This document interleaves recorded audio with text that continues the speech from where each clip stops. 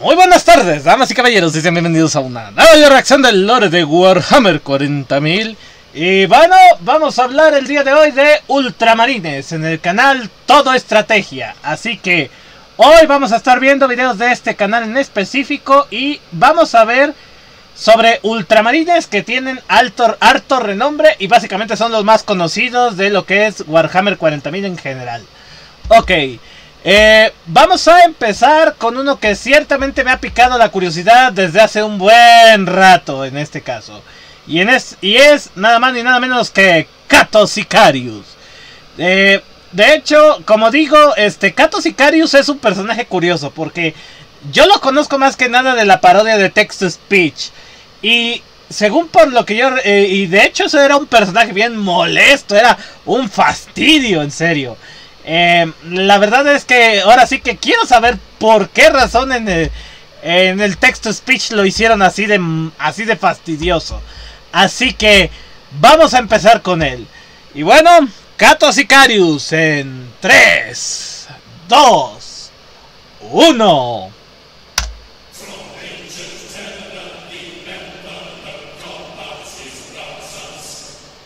Él es el legendario maestro de la guardia.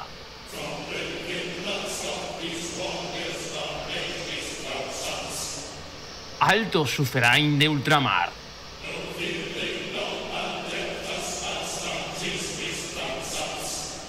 Caballero, campeón de Macra. Uy, qué mala suerte para el Pompeya. Sumo ejecutor de alienígenas y demonios.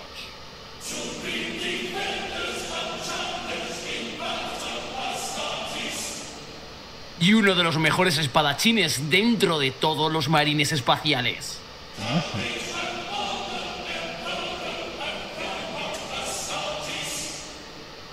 Él es Cato Sicarius.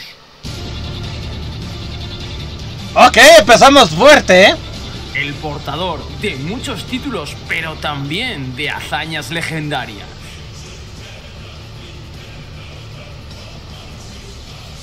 La valentía y perspicacia táctica de Sicarius son realmente insuperables.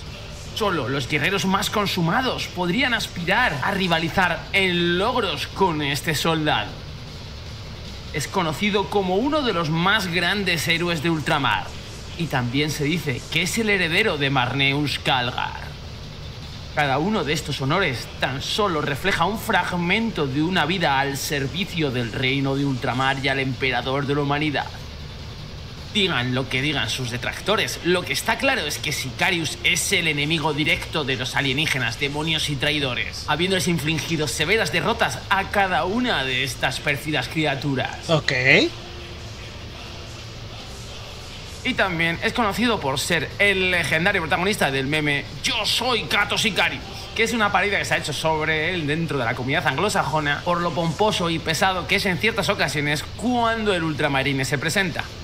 Ah, ok, ok. Eh, ok, ya entiendo.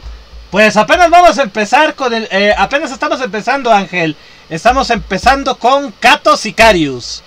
Eh, creo que le voy a regresar un poquito, porque sí, esto es... Ok, lo del meme ciertamente explica mucho, ¿eh? Directo de los alienígenas, demonios y traidores, habiéndoles infligido severas derrotas a cada una de estas pérfidas criaturas. Y también es conocido por ser el legendario protagonista del meme Yo soy Cato Sicarius, es una parodia que se ha hecho sobre él dentro de la comunidad anglosajona por lo pomposo y pesado que es en ciertas ocasiones cuando el ultramarine se presenta. Sí, sí, sí. Porque, ¿cómo se llama? Eso es lo que les digo. Yo conozco a Cato Sicarius por el text to speech, pero era un fastidio. O sea, él se presentaba de Yo, Cato Sicarius, estoy aquí porque ya yo, Cato Sicarius, triunfé en mi misión con todo mi ex, con mucho éxito. Porque yo, Cato Sicarius, soy el mejor ultramarín de todos. O sea, sí, sí lo pusieron bastante molesto en el text to speech.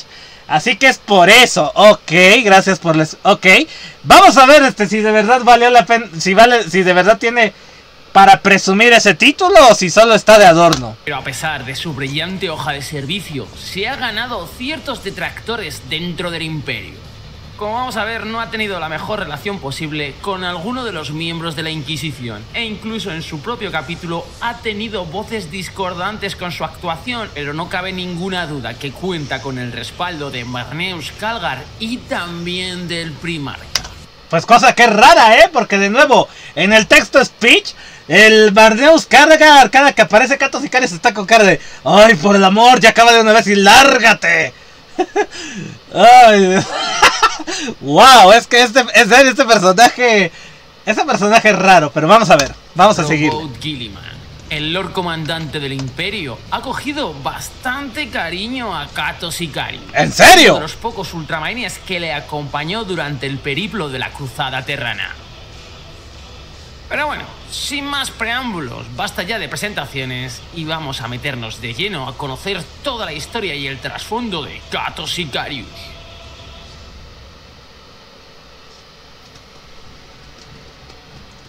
Sicarius nació y creció en la Casa Ducal de Talasar. Este es un planeta turbulento plagado de tempestades y mares embravecidos, que cuentan con un único continente llamado Glaudorona. Con... ¿Qué dice? No sé si es bueno que Gilliman le tenga precio. Sí, yo digo lo mismo, ¿eh? Con eso de que... Bueno, pues considerando que tiene muchas proezas, pues para Gilliman, ese, ese, él está entre lo alto, ¿eh? Pero yo digo que si Cato Sicarius es fastidioso, creo que es su punto negativo, ¿eh? Contando con parte de las dinastías más prominentes de todo Ultramar. Le tiene aprecio, le recuerda a uno de sus hermanos fastidiosos. dinastías dentro del reino del primarca Gilliman. Y como suele ocurrir en Warhammer 40.000 con sus grandes héroes, incluso antes de que pudiera caminar y hablar, Sicarius ya estaba guiado hacia las artes marciales. Cuando tan solo cumplió cuatro años, ya podía luchar con espada y disparar con la misma precisión que sus maestros de armas. ¡Ay, en serio! A medida que se... ¡A los cuatro años! ¡En serio! Desarrollaba, se intensificó su educación en cuestiones bélicas. Los maestros de armas de Trasar veían en... ¿Qué dice? A no ser que tengan el mismo tipo de humor, lo cual explicaría muchas cosas. Mm, sí, tiene razón, ¿eh? Si tiene el mismo sentido del humor que Gilliman, explicaría muchísimo. Sicarius a un auténtico portento, que era fundamental pulir al extremo. A los 10 años podría vencer a jóvenes que le doblaba en la edad con suma facilidad y estaba desarrollando una fuerza y resistencia increíbles. Los sabios de la casa intentaron unir su intelecto para igualar su físico, enseñándole historia, poesía y las leyes del imperio. Sin embargo, a pesar de toda la educación que se virtió en su joven mente, siempre tuvo puesto su pensamiento en la batalla. Su tutela en los caminos de la guerra solo se vio reforzada por su posterior incorporación y entrenamiento en el capítulo de los ultramarines. Los No, primeros sí. años de su carrera lo vieron luchar como un marine asalto de la octava compañía en el frente de la cruzada de Damocles contra el Imperio Tau. ¡Ah, no La- manches! Participó en esa cruzada. ¡Wow! Ok, ese sí que es un buen, este, ¿cómo se dice? Ese es que es un buen modo para empezar tu carrera, ¿eh? Sí, es un prodigio, es como si fuera más templario negro y no ultramarina. ¡Ay, Dios mío! La reputación de ser un guerrero frío, despiadado y rebosante de ambición que tenía los ojos firmemente puestos en llegar a la cima del capítulo. Esta ambición llevó a Sicarius a ascender rápidamente al rango de sargento. Posteriormente fue ungido como campeón de Macragh, antes de convertirse en capitán de la quinta compañía y obtener el rol honorífico de maestro de las marcas. Tras la invasión tiránida de ultramar, debido a la muerte del primer capitán Saul Invictus, Severus Agemán de la segunda compañía fue ascendido al rango del primer capitán. ¿Y quién ocupó la vacante que dejó Agemán? Pues por supuesto, Cato Sicarius. Esto lo hizo convertirse en el tercer hombre más influyente dentro del capítulo. Su la madre. autoridad del segundo capitán fue eclipsada tan solo por Severus Agemán y Marneus Calgar. Por supuesto, antes de que llegara Robot Gilliman. Sin duda, Sicarius se encontró con ciertas dificultades desde sus inicios, especialmente por la responsabilidad de garantizar la seguridad de ultramar tras la invasión Behemoth, ya que la amenaza tiránida continuaba aumentando, al igual que la de los Tau y los orcos. ¿Qué dice? ¿Te imaginas que era odioso solo porque pensaba que hacía le graba a sus compañeros? No, pues es así. De nuevo, eso explicaría muchas cosas, ¿eh? Pero aún así, wow. Wow.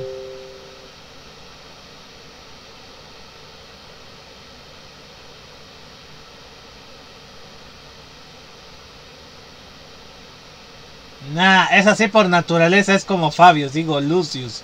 Ok. Si los asuntos marciales no fueran una preocupación lo suficientemente importante, Sicarius también es el responsable de encargarse de aquellas personas dentro del capítulo que se encargan de violar las leyes más sagradas del Codex Astartes. Esta es una tarea Oh, no, eso no es y bueno. Muchos pensarían que él no es el más adecuado para llevarla. Pues Pero no. Como ocurre con todo lo que intenta, Sicarius siempre lo ha hecho a la perfección. ¿En serio? Aquellos que han salido de un tribunal por combate con sicarios a menudo se sienten humillados. Quizás sea revelador que menos acusados hayan elegido el juicio por combate contra el segundo capitán que cualquier otro maestro de la guardia en los últimos 3.000 años. ¿En serio? O sea, tienes la opción. ¿Quieres ir a juicio o pelear con el capitán? Y por Cato Sicarius en el juicio. El juicio. Quiero el juicio. Wow. Que veáis la extremada competencia con las armas que posee Sicarius. De hecho, os voy a hablar de un ejemplo de ello cuando el inquisidor Orcaedes denunció las habilidades precognitivas del bibliotecario jefe Barro Tiburius, ya que este pensaba que estaba tratando de desarrollar una serie de pactos prohibidos ¿Qué dice? Sí, más parece un hijo de un templario negro y un hijo del emperador por su perfección. ¿Y más maestría qué? De combate. Oh no, otro cuadrado. Ay, sí, ¿eh? Sí, la verdad es que sí, ¿eh? con la disformidad. Esto, como os podéis imaginar, no sentó especialmente bien dentro de las filas de los ultramarines, siendo recibida la acusación como una burla. Sin embargo, Orcaedes insistió en el asunto, exigiendo una audiencia con el señor Calgar. El juicio tuvo lugar en el templo correccional, con más de 100 marines espaciales vigilando. Mientras el inquisidor escupía su retórica antisíica, despreciando el buen nombre de Tigurius, los ultramarines escucharon atentamente. Hay que reconocer que el inquisidor no se amilanó cuando escuchó la voz de Calgar, que sonó como un trueno asolador dentro de la sala, y solo ¡Oh! palideció levemente cuando Cato Sicarius, completamente vestido para el combate, descendió de su puesto para lanzar un desafío bajo las leyes del juicio por combate. Por su parte, el Inquisidor tenía un campeón propio. Este era un cronogladiador de clase de batalla. Este sujeto tenía la altura de un marín espacial con armadura de exterminador, siendo superior en tamaño que Cato Sicarius. El Inquisidor señaló lentamente con el dedo al Bueno, Tegurius parece hereje como Mephisto, pero son necesarios. pues capitán, pronunciando las palabras de mátalo. Una y otra vez, Cato Sicarius usó su espada solo para bloquear y parar, y sus únicas ofensivas eran a través de puñetazos que aplastaron las placas de armadura del contendiente. Dos veces derribó a su enemigo en el suelo, antes de proceder para permitirle levantarse de nuevo. Los minutos se convirtieron en horas, y los movimientos del cronogladiador se volvieron más lentos y torpes, y cayó con las extremidades agitándose y retorciéndose hasta quedarse quieto. La espada de Sicarius no estaba ensangrentada y lentamente miró de su enemigo caído al inquisidor. El capitán Sicarius le dijo que era hora de que cogiera a sus hombres y se marchara de ultramar. Sin embargo, el inquisidor se puso a gritar y a insultar a Sicarius, tratando de sacar su arma para atacarle. Pero sin embargo, el capitán de la segunda legión reaccionó lo suficientemente rápido cortando la mano del inquisidor. Esto que también aprovechó para matar al cronogladiador y advertí al inquisidor que se marchara de ultramar, cosa que hizo a regañadientes. Bueno, puede que sea fastidioso, pero le doy puntos a favor por eso.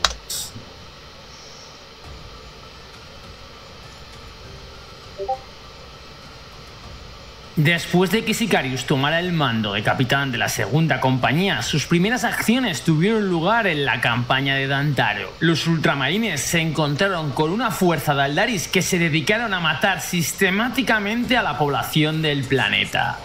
Cato Sicarius hizo uso de sus tácticas originales y poco convencionales para sobreponerse al ejército de Aldaris que asoló la población. ¿En serio? Finalmente, la fuerza del segundo capitán. ¿Por qué no hay inquisidores decentes en el imperio? Solo un puñado se salvan. Como la novia de Caiaphas Kane. Sí, es lo que yo digo, ¿eh? La verdad, los inquisidores, Dios mío. Rodeó a los Aldar y los destruyó a todos, mostrando la misma piedad que estos habían tenido con la población del planeta. Tras ello, durante una batalla de nueve días en el fuerte de Telendar, Sicarius ganó la Cresta del Valor, un honor que solo había sido otorgado exclusivamente por los ultramarines, también por actos de valentía prácticamente suicidas. Básicamente se la dieron por ser el primero en entrar en la brecha de ataque contra las fuerzas rivales. Pero avancemos en los acontecimientos. A ver. Antes de los acontecimientos de la batalla de Medusa 5, los marines espaciales de la Death Watch advirtieron que una parte considerable de la flota enjambre Kraken movió su curso y se desplazaron directamente hacia este planeta. Pero esto no era todo, porque ciertos territorios del mundo habían prometido abiertamente su lealtad a los dioses del caos. La Inquisición hizo un llamado de auxilio logrando conectar con el capitán Sicarius de la segunda compañía. La primera misión de este fue desplegar sus fuerzas por todo el planeta en formaciones defensivas y liberar sus naves para cazar cualquier tipo de tráfico espacial que pudiera estar relacionado con fuerzas de orcos, aldari, tiránidos, tau y caos. A ver, espérame tantito, ¿qué dice aquí? Recuérdense, eh, Recuerden, se supone que el emperador los puso en el cargo a dedo, otra gran hazaña del dios emperador, salvaguardando a los humanos. La idea fue de Marcador, pero la puesta de práctica fue del emperador. Mm. Ya. A ver, déjeme regresarle tantito. Entra Sicario, salen tripas. Oye, eso está buena, ¿eh? Eso estuvo buena, ¿eh? A ver, quiero ver, quiero escuchar esto completo de nuevo, porque sí, sí suena interesante lo que hizo aquí. Antes de los acontecimientos de la batalla de Medusa 5, los marines espaciales de la Death Watch advirtieron que una parte considerable de la flota enjambre Kraken movió su curso y se desplazaron directamente hacia este planeta. Pero esto no era todo, porque ciertos territorios del mundo habían prometido abiertamente su lealtad a los dioses del caos. La Inquisición hizo un llamado de auxilio logrando conectar con el capitán Sicarius de la segunda compañía. La primera misión de este fue desplegar sus fuerzas por todo el planeta en formaciones defensivas y liberar sus naves para cazar cualquier tipo de tráfico espacial que pudiera estar relacionado con fuerzas de orcos, aldari, tiránidos, tau y caos. Oh. Después de una larga y sangrienta campaña, Sicarius emitió un exterminatus para acabar con el planeta moribundo. Pero, sin embargo, una de las batallas más famosas en las que ha participado Sicarius hasta el momento es en el asalto a Blarrix contra el caudillo orco Zanzag. Las tácticas altamente agresivas de Sicarius frustraron una gran ofensiva encabezada por el inusualmente astuto caudillo orco Zanzag. La culminación de esta campaña tuvo lugar dentro de la guardia subterránea del Orcoide, donde se encontraba el corazón del Wag. Esta terminó de una manera espectacularmente violenta después de terribles pérdidas que sufrieron los ultramarines para alzarse con la victoria. ¿En serio? Durante esta campaña, el contingente de Sicarius fue desplegado contra una fuerza de unos 10.000 orcos. ¿Qué dice? Recuerden, los ultramarines tienen la autoridad como presupuesto para hacer exterminatus. No se lo piden a los lamentadores que ni armas tienen. ¡Wow! Cuando los Astartes finalmente se quedaron sin munición contra los salvajes senos, Sicarius les ordenó usar sus cuchillos de combate y espadas sierra hasta que todos los orcos hubieran muerto. El caudillo finalmente fue asesinado y Sicarius le arrancó la cabeza en un combate personal. Pero sin lugar a dudas, el coste de esta acción fue extremadamente alto. Al concluir la batalla, se consideró que las bajas que sufrieron la segunda compañía habían sido extraordinariamente altas. Oh. Es seguro que Sicarius y sus guerreros salvaron el mundo de Black Ridge de las garras de los orcos. Pero voces dentro del consejo del capítulo susurraron que la pérdida de sangre de los Astartes era demasiado grande. No, pues sí, oye. Creo que cualquiera te hubiera dicho eso. Y nos trasladamos directamente al año 878 del milenio 41, aproximadamente 20 años terrestres después del inicio de la campaña de Black Rift. Sicarius se enfrentó con un enemigo que lo perseguiría repetidamente durante más de un siglo. Aquellos que habéis seguido el contenido del canal de Todo Estrategia conocéis perfectamente a esta entidad, porque es el príncipe demonio Macar. De hecho, le dediqué un vídeo exclusivo al hablar de él, porque desde mi punto de vista es uno de los personajes más perdedores que hay en todo Warhammer 40.000. ¡Oh! ¿En serio? ¿Un príncipe demonio perdedor? ¿Qué dice? Los lamentadores cuando bajan desmantelan la nave y cuando terminan la vuelven a armar para salir. ¡Ay, no manches! ¿En están así de jodidos? ¿En serio? El man murió permanentemente por lo patético que era. ¡Wow! Ok, lo voy a tener este en la lista de pendientes, ¿eh? Porque, Dios mío, si esta es una historia, esta es una historia trágica de verdad.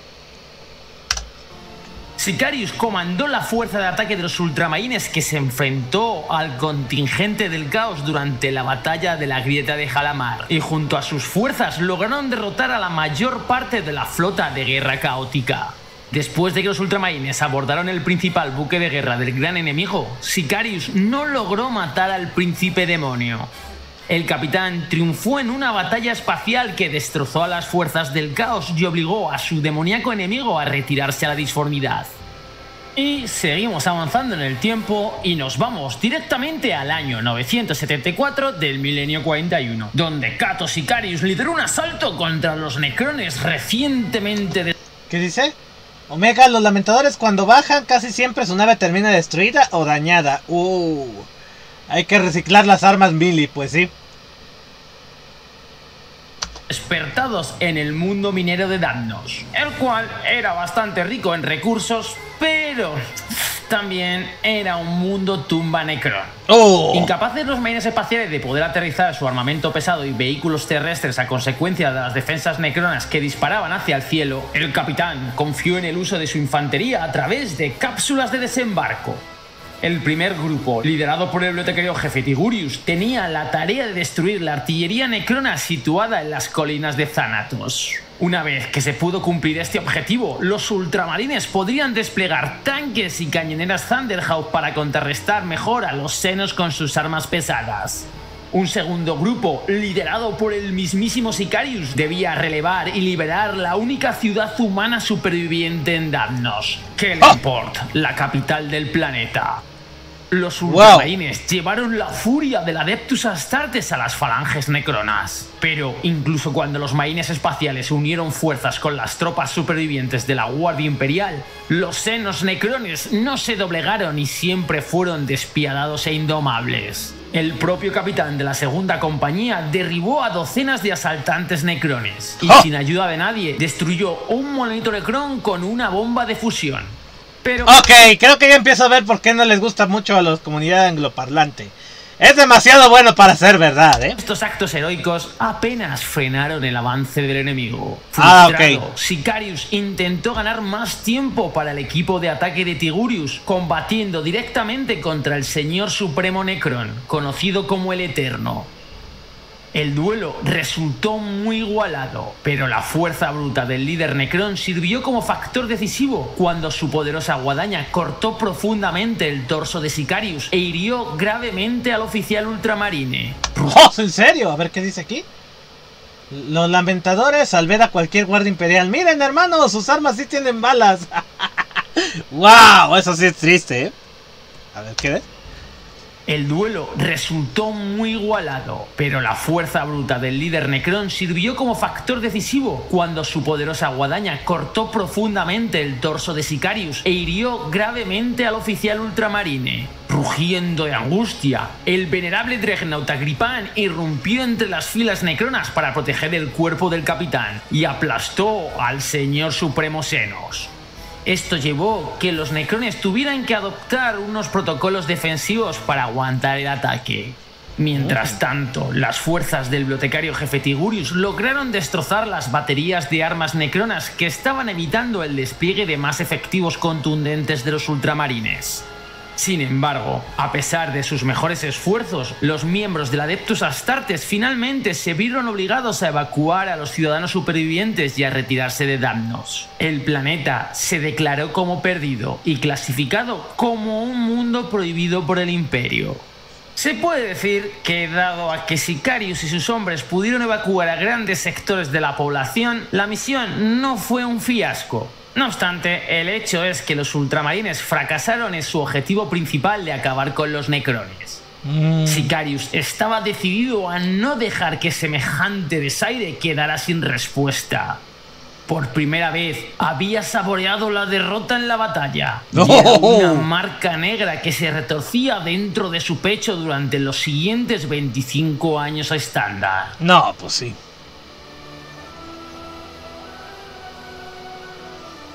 Ahora viene contra los Tao, a ver. Posteriormente, el capitán Sicarius dirigió a su compañía y a otras 30 fuerzas de capítulos de marines espaciales, acompañados también por supuesto por la Guardia Imperial, para participar en la campaña de Zeus en el año 999 del milenio 41 contra las fuerzas del Imperio Tau, que buscaban expandirse hacia el espacio imperial en la franja oriental de la galaxia. Cuando el imperio tomó medidas para contrarrestar la expansión Tau, los servidores del bien supremo ya habían reclamado 26 mundos imperiales. Las fuerzas de la Guardia Imperial y contingentes del Adeptus Astartes se unieron a Sicarius en el mundo de Praetonis 5 con el fin de coordinar la defensiva imperial. El capitán de la segunda compañía decidió desplegar sus fuerzas utilizando la misma táctica de movilidad y potencia de fuego dirigida con precisión que había permitido a los Tau conseguir tantos éxitos. La fuerza de ataque del imperio recuperó los 26 planetas que habían perdido y mitigó gravemente la ofensiva de estos senos, obligándoles a retrasar su expansión de la cuarta esfera hasta que pudieran recuperarse de estas derrotas. Pero antes de ¿Qué dice? A ver. Aún me acuerdo de las quejas del trailer de la novena edición con la monja rezando, se cura de, su- de una arma de desintegra y además cura la servoarmadura. Mm, sí, eso es una estupidez. Güey, las malas lenguas dicen que cuando le dijeron a Dante que no podían ir a Baal a defender el planeta los lamentadores, Dante saltó de alegría.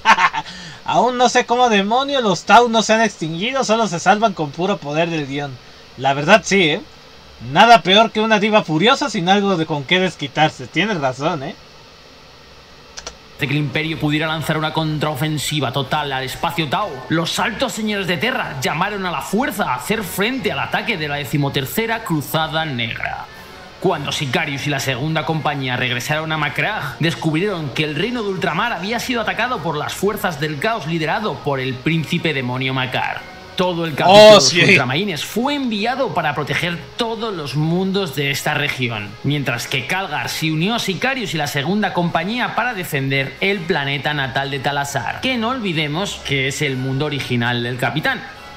Después de una feroz campaña, finalmente Macar fue asesinado y desterrado a la disformidad por Marneus Calgar, tal y como narramos en el episodio centrado en el señor del capítulo, quien prometió matar de una manera definitiva al príncipe demonio si éste volvía a aparecer. Y diréis, pero esta campaña no fue cuando resucitó el primarca robot Gilliman. Sí, pero sabéis que esto sufrió ligeras modificaciones en el trasfondo y corresponde a una decimotercera cruzada negra que no fue la que provocó la caída de Cadia. Ah, ok. Eso es el viejo lore. A ver, el nuevo lore. A pesar de los esfuerzos de la Inquisición por suprimir todo conocimiento sobre el resurgimiento de los necrones en la galaxia, la fe del imperio en su supremacía militar se vio sacudida por la noticia que se extendió por toda la galaxia después del año 974 del milenio 41. A consecuencia de la derrota que habían sufrido la Guardia Imperial y los ultramarines en la batalla de Damnos. Finalmente, los informes sobre la pérdida del planeta llegaron a Terra, donde tanto el fabricador general del Adeptus Mechanicus como los altos señores de Terra decretaron que los ultramarines debían regresar a Damnos y erradicar la amenaza necrona de una vez por todas. Ay, no más. 25 años estándar después del incidente de Damnos, esta orden imperial fue llevado a cabo por Marneus Calgar, contando también con los efectivos de la Death Watch de Lazarus. El señor del capítulo de los ultramarines no estaba satisfecho con el decreto del imperio, porque sabía que su segunda compañía se había enfrentado solo a una fracción de los necrones despiertos en Damnos. No, pues una sí. vez que regresaran al planeta, los ultramarines se enfrentarían a toda la fuerza de un mundo tumba necrón y se arriesgarían a la muerte de cientos astartes si esto pasaba. No obstante, Calgar sabía que los altos señores de Terra tenían razón y que los necrones debían ser derrotados si el imperio alguna vez quería conocer la paz. Con el historial de los ultramarines manchado por la acción en Damnos, era su deber desterrar a los fantasmas del pasado. Al escuchar esto, Calgar mandó a la primera, segunda, tercera, quinta y sexta compañía de los ultramarines para ir directamente a la campaña de Damnos. Y por supuesto, Cato Sicarius volvió a intervenir. Se dice que durante los preparativos para el asalto, el capitán de la segunda compañía entrenó tan duro que luchó con la furia de un poseso, durmiendo directamente en las jaulas de combate. Y antes de que terminara el mes solar, los ejércitos y las flotas de Calgar se habían reunido y los marines espaciales estaban listos para la batalla. Ok, ¿qué dice aquí? Recuerden otra gloriosa decisión del emperador. Él puso a los grandes señores de Terra a su cargo. El emperador se parece político corrupto tercermundista. Casi, casi, ¿eh? casi, casi. Además, Sicarius recibió una granada de vórtice del sargento de la Guardia de la Muerte Davini Mocles, de quien se rumoreaba que era un viejo amigo y ex compañero del escuadrón. El viaje a Damnos fue peligroso y el señor del capítulo dependió de varias artimañas y distracciones para llevar a sus guerreros sanos y salvos a la superficie. Cuando los necrones descubrieron la verdadera ubicación de las naves de guerra ultramarines, las flotas astartes estaban en condiciones de lanzar sus cápsulas de desembarco. La primera oleada consistió en cápsulas de desembarco vacías con el fin de distraer las baterías de armas defensivas Gauss. La segunda, no obstante, representó el verdadero asalto, que llevó a cientos de marines espaciales al corazón del complejo del mundo tumba. Su objetivo era destrozar los núcleos piramidales que controlaban la red eléctrica necrona y tratar de hacerlo antes de que las fuerzas imperiales fueran abrumadas. Sin embargo, un factor que no tuvieron en cuenta fue la encarnación física de un Zetán contenido dentro de una bóveda teseráctica. ¡Ay, no Se manches! determinó que este lugar era la verdadera fuente de poder de los necrones y debía ser neutralizada si las fuerzas imperiales querían tener algún tipo de posibilidad. Ójole. A pesar de todo el poder ejercido por el asalto imperial a Damnos, Marneus Calgar se sintió como un duelista destrozado por un enemigo superior en una jaula de entrenamiento. La lógica de batalla de los Necrones resultó impecable, ya que si lo combinamos esto con la inteligencia maestra que tienen, se anticipaban en todo momento a los movimientos de Calgar. No, pues sí. Gracias a un escudo de energía que se emitía desde la bóveda, cada descarga de plasma y explosión de fusión empleada contra los monolitos necrones se disipaba inofensivamente. Esto Oh. le dio una enorme ventaja a los necrones. A ver qué dice acá. Se parece mucho a un templario negro mezclado con un hijo de Fulgrim, pues sí.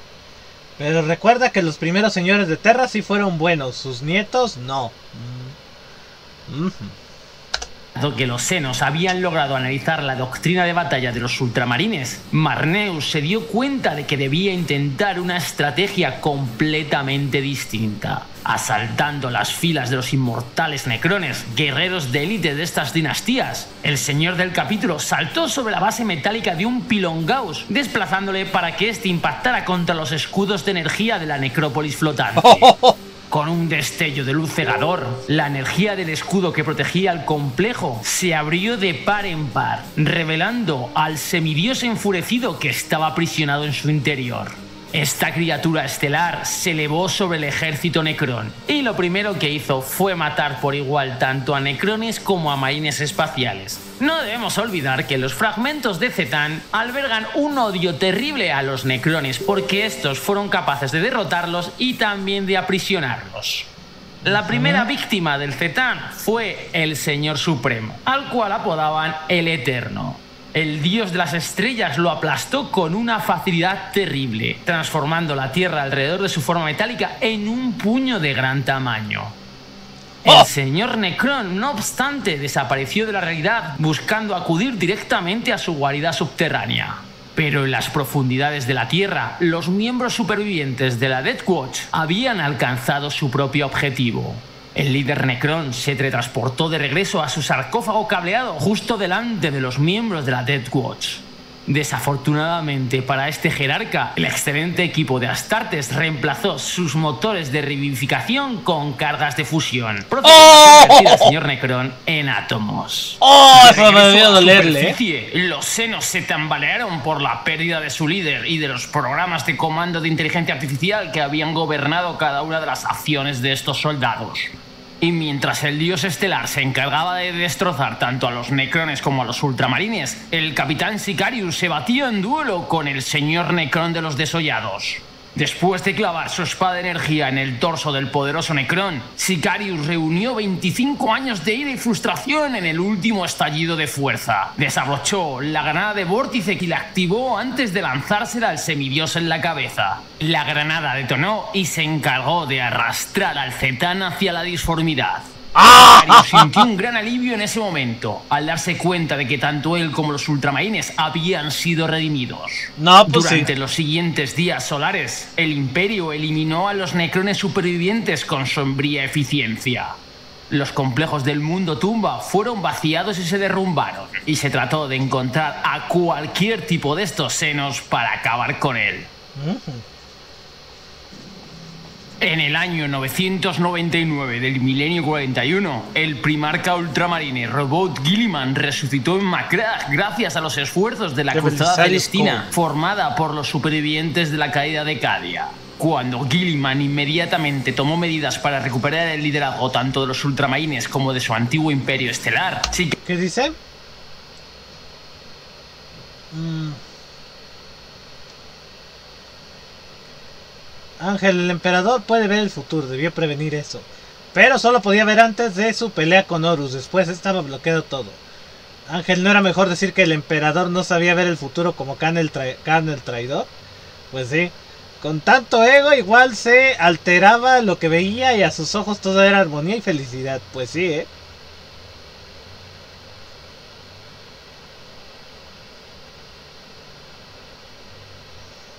Bueno, vamos a seguirle. Sicarius jugó un papel clave en la campaña del Primarca para liberar todos los mundos. Como tal, Gilliman reunió una fuerza selecta de los hermanos de batalla de la primera, segunda y tercera compañía de los ultramarines y le dio el honor a Cato Sicarius de estar al mando. A ver. Durante la cruzada terrana, Sicarius recibió el honor de servir como comandante de la Guardia Victris del Primarca, una formación de élite de ultramarines. Elegidos personalmente por el Primarca, la Guardia Victris eran marines veteranos con innumerables siglos de experiencia en combate y no teniendo ningún tipo de miedo a ningún enemigo. A lo largo de la cruzada, la destreza en combate y la fe incrementable de Sicarius ayudaron a las fuerzas imperiales de la cruzada en todas sus pruebas y viajes a través de la disformidad. Finalmente, fueron arrojados mediante un gran ritual al Malestor, ya que Magnus el Rojo había previsto que Robot Gilliman iba a dar estos pasos. Los supervivientes de la cruzada terrana finalmente llegaron al sistema solar en la Luna. Y gracias a un combate magistral, los ultramarines, junto a la ayuda de las Hermanas del Silencio, fueron capaces de derrotar al Rey Carmesí. Pues sí. Al final de esta epopeya galáctica, Sicarius fue uno de los pocos personajes imperiales que consiguió sobrevivir a la cruzada terrana. Vaya. Allí, ante la puerta de la eternidad del palacio del emperador, Gilliman se encontraría con su padre por primera vez en 10.000 años estándar. ¿Qué dice? Eso es antiguo lore. Recuerda que él apareció con Belisarius diciendo que la idea de Roberto de los primaris es buena idea y que lo haga que pronto Roberto volverá en un futuro próximo. Ah, pues sí. guardando Sicarius en su puesto con la Guardia Victris hasta que el primarca regresó. Mientras el primarca de los ultramarines organizaba lo que se convertiría en la Cruzada Indomitus, la Gran Grieta desgarró la galaxia. Temiendo por ultramar, Gilliman envió para salvaguardar su reino a gran parte del grupo de trabajo de los ultramarines y con ellos a sus capítulos sucesores primaris. La pequeña armada, comandada por el capitán Sicarius y apodada la Flota Vengadora, se topó con una tormenta disforme extraordinariamente fuerte que dañó significativamente la flota. ¡Oh! Sicarius hizo señales a cada una de las naves para que regresara a Macragge y la interferencia fue tan grave que temió que muchos no recibieran esta información. El crucero de ataque del propio Sicarius, la voluntad del emperador, todavía estaba en la disformidad cuando el Astronomicon se desvaneció. En medio de los maremotos de energías psíquicas que cayeron en cascadas aleatoriamente a través de todos los sistemas estelares de la galaxia, se recibió una última transmisión de la voluntad del emperador. Ver. El mensaje fragmentario iba acompañado de imágenes inquietantes y solo se pudo aclarar una frase. Han roto el casco. Están aquí. La mitad de la flota vengadora finalmente llegó a ultramar, trayendo consigo su preciado cargamento de soldados para ayudar contra cualquier ofensiva. Aunque Sicarius fue considerado desaparecido en combate, por supuesto, todavía se le esperaba. Aunque tuvieron que poner al mando de la segunda compañía de los ultramarines al capitán Acheran. Sin embargo, Sicarius escapó más tarde de la disformidad y pudo unirse a la cruzada Indomitus de Robot Gilliman para estabilizar el imperio. Pues Mientras sí. la cruzada luchaba para salvar los mundos dentro del imperio Nihilus, Gilliman tomó a Sicarius bajo su protección, ya que el obstinado capitán le recordaba al primarca a uno de sus otrora más emblemáticos marines espaciales, Aeon y Ciel. Este ultramarine fue muy Ah. famoso por su gran capacidad de adaptación y pensamiento poco ortodoxo. Ok. Gilliman pasó una cantidad considerable de tiempo durante la cruzada Indomitus en un intento de convertir a Sicarius en algo más que en un simple guerrero. Robot buscaba entrenarle en el arte de gestionar un estado y de ser un líder increíble. Cuando Robot Gilliman finalmente puso fin a la cruzada Indomitus, Sicarius estaba entre las fuerzas que el Lord Comandante del Imperio llevó consigo para ayudar al reino de Ultramar, el cual había estado atrapado durante años en un conflicto conocido como las Guerras de la Plaga.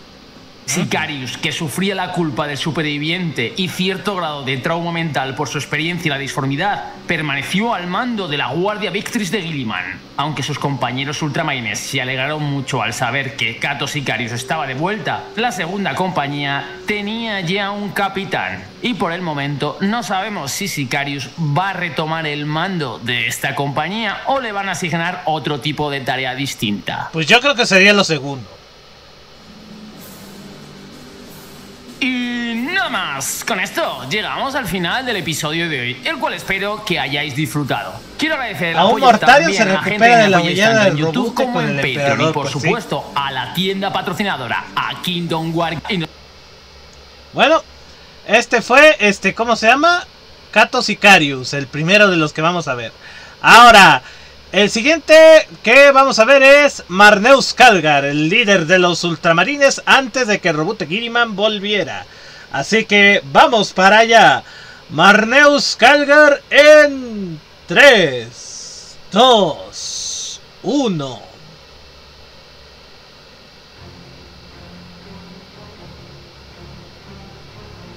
Una de las figuras más relevantes y destacadas que existió en el trasfondo de Warhammer 40.000 antes del levantar y del despertar de Robot Gilliman fue ¿Alguna vez Mortarion se recuperará de la vapeada? No lo sé, pero espero que tarde un rato, ¿eh? Marneus Calgar, el señor del capítulo de los ultramarines. Este, como reza en el mismo título, era más o menos el primarca que estaba con vida. Aunque era un marine espacial, su rango, sus hazañas y el valor simbólico que tenía era tal que podía ser como la figura más destacada que había en Warhammer 40.000 por parte del bando imperial. ¿Qué dice? Ni- Si quieres saber lo que pasó con el teniente Titus de los ultramarines, Sirkan hizo un video. Mira, eh, te voy a decir un problema, este Said. Eh, mi, yo no veo videos de Sirkan porque la música que él pone te desmonetiza. Y obviamente yo sí quiero lucrar y yo sí quiero y yo necesito comer, así que para bien o para mal lamentablemente los videos de Sirkan no me sirven de mucho para mí. Tal vez sean muy completos, sí, pero como dije, la música hace que no me no pueda monetizarlo a gusto. Sirkan pone copy y Omega no lo puede ver, exacto. Exacto, quizás en Twitch sí, pero no en este YouTube.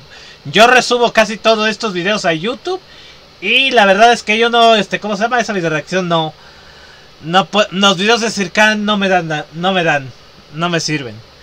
Bueno, vamos a, vamos a seguirle. Ni tan siquiera Logan Greenar ni Dante eran tan destacados los eventos principales del antiguo trasfondo de Warhammer 40.000. Por lo que vamos a centrarnos en conocer bien toda la historia de este insigne personaje a lo largo de todo Warhammer 40.000. Así que, sin más demora, vamos ya a ver la historia del que sería uno de los miembros más importantes de todo el capítulo de los ultramarines.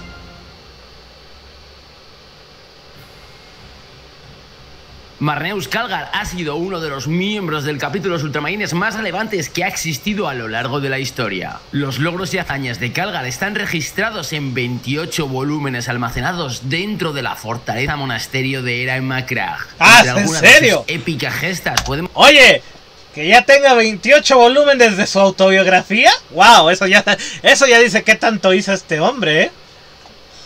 A encontrar cuando fue capaz de asaltar a la nave enjambre tiránida Behemoth Prime, mantener sin ayuda la puerta contra una horda orca durante un día entero, derrotar a un avatar de Kain en combate singular, a un devorador de almas extraordinariamente poderoso conocido como Angrat y también es afamado por haber derrotado en múltiples ocasiones al príncipe demonio Macar el Renacido, posiblemente el peor enemigo del señor del capítulo.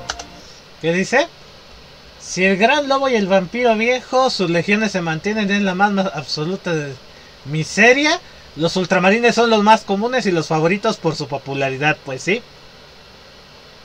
Pero cabe destacar que cuando Marneus nació, el nombre que él tenía antes de convertirse en un ultramarine no era el del Cargar, y tampoco nació como un noble dentro de las élites de ultramar. Ay, ¿no? Debemos recordar que Robot Gilliman asentó profundamente en las bases de todo su reino la importancia de la meritocracia, que aquellos sujetos que no hubieran nacido con unas condiciones adecuadas también tuvieran la posibilidad de medrar dentro de las clases sociales de su reino. Por lo tanto, aunque Marneus no gozó inicialmente de una buena posición, ya que no tenía una familia poderosa, gracias a sus heroicos hitos, como vamos a ver más adelante, consiguió convertirse en el futuro en el señor del capítulo. Su verdadero origen, como hemos mencionado, es mucho más humilde. Calgar nació en Nova Thulium, bajo el nombre de Tacitan, un siervo de la casa Calgar, este Tullium llegó a convertirse en uno de los mejores amigos de Marneus Calgar durante esta etapa y fueron seleccionados para acudir a un campo de entrenamiento con otros reclutas, dado a que gozaban del talento necesario para convertirse en futuros ultramarines. Era granjero. Para esto, indicar que Marneus Calgar en este momento era el nombre del mejor amigo del que sería en el futuro el señor del capítulo de los ultramarines, porque puede ser confuso esto de llamar Marneus Calgar a un otros reclutas, dado a que gozaban del talento necesario para convertirse en futuros ultramarines. Para aclarar esto, indicar que Marneus Calgar en este momento era el nombre del mejor amigo del que sería en el futuro el señor del capítulo de los ultramarines. Porque puede ser confuso esto de llamar Marneus Calgar a una figura que no es exactamente el protagonista de... Ah, o sea, ese no era su nombre, era el nombre de su mejor amigo. Ok, esto sí es raro, ¿eh? ¿Cómo se llaman los granjeros de los feudos? Campesinos, pues así de sencillo. ¿Cómo se llaman los granjeros? Simples era campesinos. Ah, un siervo, sí, ah, sí, cierto, también era ese nombre, siervo. Allí su entrenador Crisius, un neófito, les sometió a las pruebas más extremas para asegurar que fueran lo suficientemente potentes para convertirse en unas Astartes. Sin embargo, Tacitan y Marneus evolucionaban de una manera más lenta y notaban como el resto de los aspirantes les dejaban de lado, formando una hermandad de la que les excluyeron. Una noche, Tacitan y Calgar despertaron en un campamento vacío. Siguiendo las huellas de sus compañeros, descubrieron el origen de la hermandad de aquellos que les estaban abandonando. Crixus en realidad era un adorador de Corne que se había unido al caos al ser rechazado por los ultramarines. El reclutamiento no era más que una fachada para tratar de crear adoradores del dios de la sangre. ¡Ay, no manches! ¿En serio? ¡Wow! Habiendo descubierto su verdadera identidad, los adoradores de Corne atraparon a Tacitan y a Marneus con la intención de sacrificarlos. Pero el amigo del futuro señor del capítulo se sacrificó para El que verdadero Tacitan Marneus. pudiera escapar, siendo apuñalado por Crixus y muriendo por la falta de sangre. Uh, Antes de morir, Marneus, como heredero de esta casa noble, en memoria de su hermano perdido, adoptó el nombre de su mejor amigo, porque también él representaba mejor que nadie los valores de un ultramarine. Fue sabio, fuerte, inteligente y compasivo. Ok, eso sí fue una buena. Ok, debo darle crédito. Esa es una buena historia de origen, ¿eh? Era una muy buena historia de origen. El apellido de la casa de su mejor amigo, pues sí. La verdad, ese es un muy, buena, muy buen origen, ¿eh?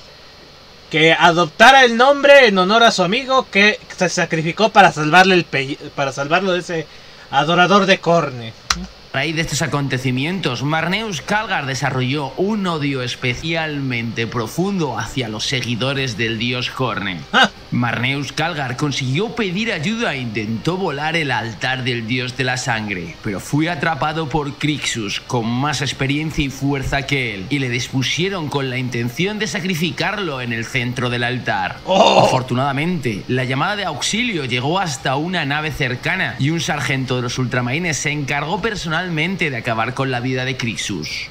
La sangre de este sació la demanda del altar para abrir una brecha disforme y la caverna donde se hallaba el templo se vino abajo, atrapando a los cultistas que quedaban en su interior. Uh. Escapando del peligro, el sargento cargó con la figura debilitada de Marneus Calgar, llevándole directamente hacia la superficie. A lo largo de las siguientes décadas, Marneus Calgar creció como un ultramarine, superando todas las pruebas y obteniendo los implantes que le convertirían en un transhumano. Al final de este periodo, Calgar fue el único de los 300 aspirantes que consiguió convertirse en un marine espacial completo. ¡Ah! A lo largo del tiempo, participó en múltiples campañas. Pues sí, escalando los cargos. Por toda la galaxia. ¿Qué dice aquí? Recuerden, cuando un marín de ultramarín lleva eso es una casa noble, esa casa noble obtiene beneficios y gloria porque uno de sus hijos logró ocupar ese cargo. ¿Mm? Sí, pero cuando sepan la verdad de la casa Calgar, uh, la que se va a armar, ¿eh? como fue por ejemplo la batalla del sepulcro de Orar, o como vamos a ver más adelante, la primera guerra tiránida. En el año 754 del milenio 41, la flota enjambre de Gemot llegó a la franja oriental de la galaxia. Y fue en Macragh, el antiguo mundo natal de los ultramarines, donde se decidiría el futuro de todo el sector. Una vez que los marines espaciales se enteraron de la inminente amenaza de los tiránidos, Marneus ordenó que las formidables defensas de Macragh se pusieran en un estado de preparación elevado. Sabía perfectamente Marneus que este sería su mayor desafío y que debía preparar a todo su capítulo para enfrentarse a una de las mayores amenazas que la galaxia tendría que encarar a partir de ahora. Cientos de bionaves atravesaron el bloqueo de los ultramarines y pululaban por todo Macragh. Miles de bestias alienígenas pronto arrasaron todo el planeta. Considerando que la amenaza tiránida era demasiado grande para combatirla poco a poco, Calgar combinó sus fuerzas terrestres en tres ejércitos. El primero y segundo grupo de trabajo guarnecieron cada una de las fortalezas polares de Macragh. Llevaron la lucha directamente al enemigo, siendo el propio Marneus el que lideró la tercera fuerza de ataque en una serie de acciones de retaguardia que intentó frenar el avance de los senos. Sí, creo que es la forma de decirlo, ¿eh? Recuerdos de Vietnam. y tácticas a su disposición, Calgar utilizó el paisaje de Macragh como un arma, atrayendo al enjambre a valles y puentes de hielo donde su superioridad numérica no podía soportarlos. Las líneas de artillería de los ultramarines detuvieron la marea mientras las andanadas de largo alcance cosecharon cientos de víctimas alienígenas. Los escuadrones tácticos lanzaron ataques audaces desviando la atención de la flota enjambre, mientras que los marines de asalto atacaban a los organismos sinápticos que controlaban la colmena. Pero no conocían bien a los tiránidos y estos se negaron a retroceder. Y fue en Cole Steel Right donde los marines espaciales se encontraron con una de las mayores némesis del capítulo. Con un tirano de enjambre, una criatura extraordinariamente inteligente capaz de guiar a todas sus tropas con una precisión que daba auténtico pavor. Los tiránidos bajo su dominio psíquico comenzaron a invadir las posiciones de los ultramarines fácilmente. El señor de la horda ha llegado. el planeta condenaría a sus guerreros. Calgar ordenó a las Thunderhawk que extrajeran los ultramarines a las barcazas de batalla en la órbita Octavius. Pero este espécimen de tirano enjambre, que muchos conoceréis como el señor de la horda, viendo la estrategia que estaban adoptando los ultramarines, fue directamente a acabar con Calgar porque sabía que era un objetivo extraordinariamente valioso. Durante un épico duelo que enfrentó tanto al señor del capítulo como al cabecilla de los tiránidos, finalmente Calgar fue sometido al ser atravesado por las espadas alienígenas del señor de la horda. Oh. Antes de que este general tiránido pudiera asestar el golpe mortal, la guardia de honor de Marneus se arrojó frente a su señor, formando un escudo con sus propios cuerpos. Lentamente consiguieron alejar a su señor del capítulo del señor de la horda. Su coraje y el sacrificio de múltiples vidas de estos héroes contuvo a la marea hasta que pudieron salvar a Marneus y llevarlo a una Thunderhawk. Horas más tarde, las fuerzas principales de los tiránidos cayeron sobre Macragh. Rechazando todo excepto la atención médica más vital, Calgar rápidamente retomó el mando de la flota y presionó el ataque. Atrapados entre los abrasadores potencias de fuego de las fortalezas polares de Macragh y los vengativos golpes de la flota del espacio, las naves tiránidas fueron destruidas en masa, pero aún quedaban cientos. Mientras la batalla avanzaba, las naves tiránidas restantes desataron miles de esporas micéticas, que son como una especie de cápsula de desembarco tiránido para aquellas personas que no conozcáis bien cómo funcionan. Pero sin embargo, Marneus confiaba férreamente en sus ultramarines y sabía que podrían llegar a mantener las fortalezas vitales. Por lo tanto, Calgar persiguió la flota enjambre, decidido a evitar que trajeran la ruina a cualquier otro mundo imperial. Aún así, en el combate terrestre los tiránidos estaban obteniendo una gran ventaja. La ferocidad del turbulento enjambre fue implacable. En la fortaleza del norte invadieron las murallas utilizando los humeantes montones de sus propios muertos como cobertura. Incluso las más imponentes máquinas fueron destrozadas por aluviones inmensos de bioformas menores tiránidas. En el espacio, Calgar persiguió a la flota tiránida hacia el mundo de Circe, donde la llegada de refuerzos imperiales atraparon a bionaves senos en una pinza. A pesar de que muchos acorazados y cruceros imperiales fueron destruidos, la flota enjambre fue aniquilada. Aprovechando esto, Calgar para regresar rápidamente a Macragh.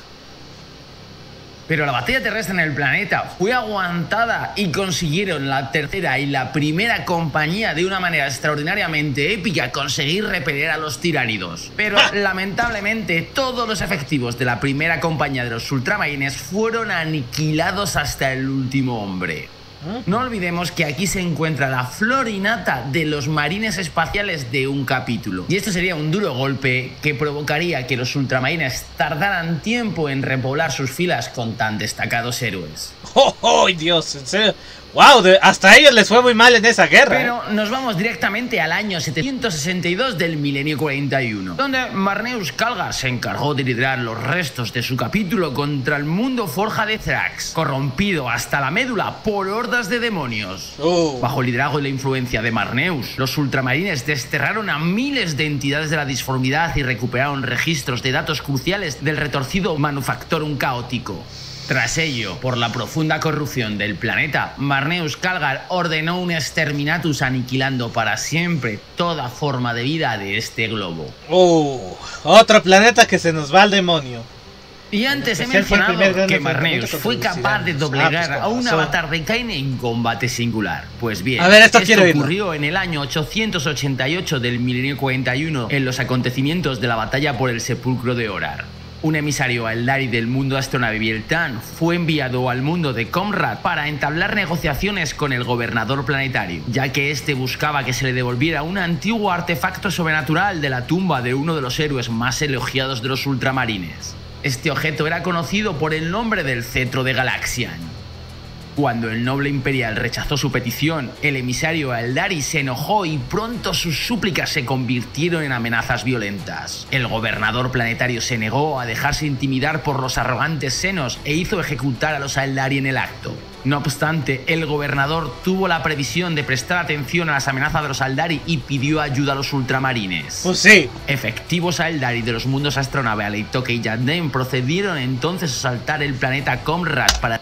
Que vemos, estamos viendo este a ultramarines, estamos eh, viendo videos de los ultramarines más importantes. Ya vimos a Kato Sicarius y ahorita estamos viendo a Marneus Calgar. El este, ¿cómo se llama? El líder de capítulo de los ultramarines. Así que vamos a seguirle porque sí, este, están, están interesantes estos videos de toda estrategia, ¿eh? Están muy interesantes estos videos para recuperar el cetro de Galaxian. Y fue por primera vez desde la batalla de Macrack contra los tiránidos que Calgar lideró al completo. ¿Qué dice? Y por el momento andan viendo peleas de pareja, Eldars contra Eldars y Ultramarines. Pues por ahora es que están hablando de una batalla en la que participó Calgar contra Eldars. A todo su capítulo. Los Aldari descendieron sobre el sepulcro de Orar y lo encontraron en manos de los ultramarines. Estos senos fueron repelidos ante una defensa indómita de las fuerzas de los guerreros astartes. Al verse incapaces de romper esta defensa de los ultramarines, al día siguiente un nuevo asalto pues no sé, ahorita las grandes escaleras del sepulcro, liderados por una figura colosal envuelta en llamas. Este era un fragmento del dios Aldari conocido como Kaine, y la línea de batalla de los ultramarines se hundió bajo su ataque, por lo que el mismísimo Marneus lanzó un desafío a este ser. El dios de la guerra Eldari bramó con furia y su primer golpe falló cuando trató de impactar sobre Calgar. El segundo arrancó las placas de la armadura del señor del capítulo. Y un oh. tercer golpe hirió profundamente el hombro de este Astartes, haciendo que Marneus cayera sobre una rodilla.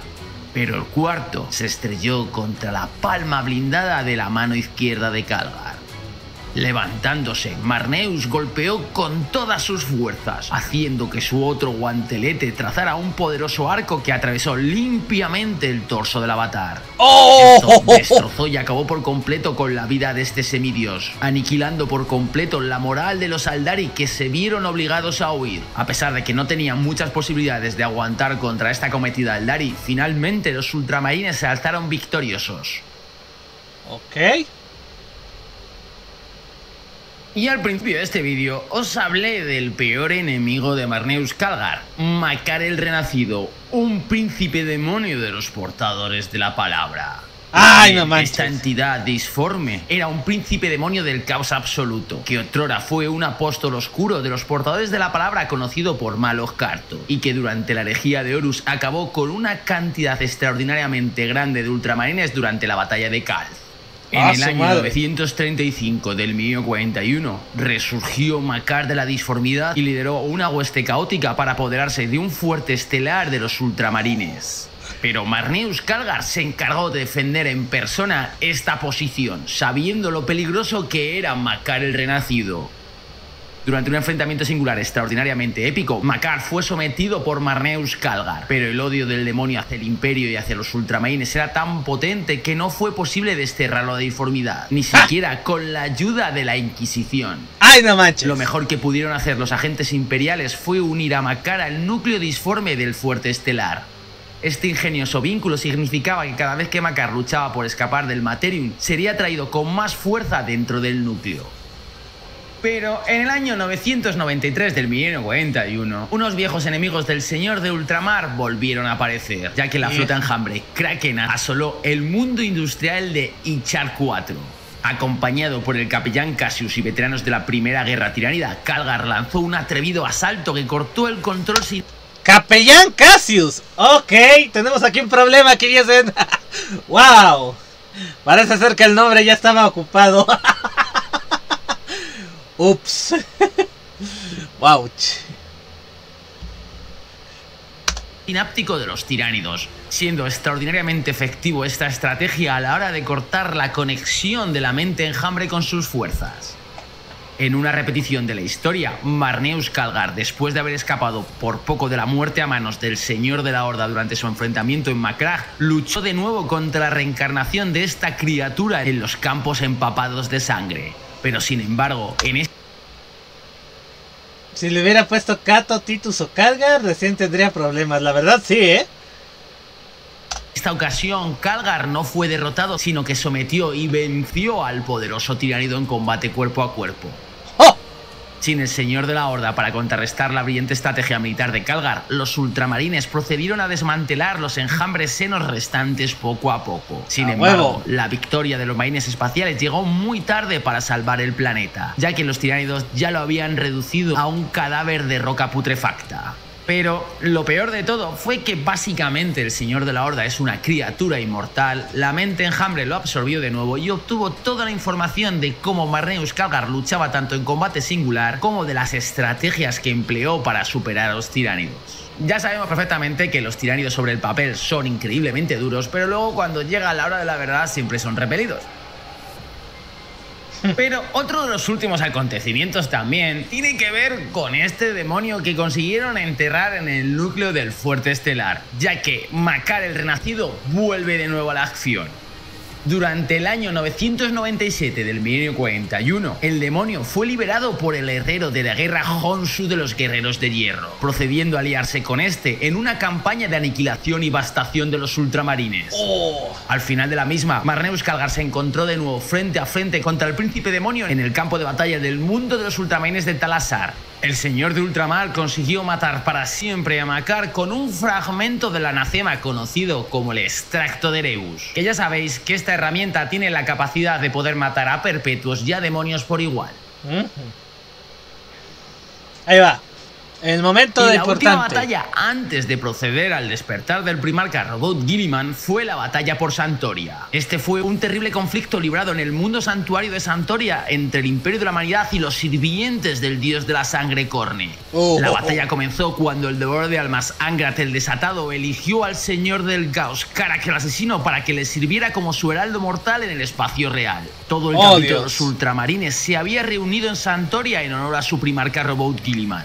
Este raro momento en el que todo el capítulo estaba junto en un solo lugar brindó a los sirvientes del dios de la sangre la oportunidad irresistible de provocar una auténtica matanza. ¡Oh! La acción principal de esta batalla se libró en Angelus Prime, la capital de Santoria. Todo el poder de los capítulos ultramarines, los caballeros grises, los caballeros imperiales de la casa Terni y los titanes de la Legion Astorum se enfrentaron contra las hordas sedientas del dios de la sangre. Oh, El momento más épico y destacado de este conflicto fue cuando Marneus Calgar se enfrentó directamente contra Grad en un combate singular. Ya entendéis aquellos que estáis viendo este vídeo por qué la comunidad anglosajona le cogió bastante asco a Marneus Calgar y es que siempre resuelve todo a base de combate personal contra megacriaturas que a priori son mucho más fuertes que un señor del capítulo. Por eso Pues a sí. Siempre se ha considerado como el primarca antes de que estos volvieran a aparecer. No, pues sí. Lo que sucedió en este enfrentamiento fue lo siguiente. Angrat ¿Qué ha pasado? Mi papá me pagó los materiales que me tocó comprar. Híjole.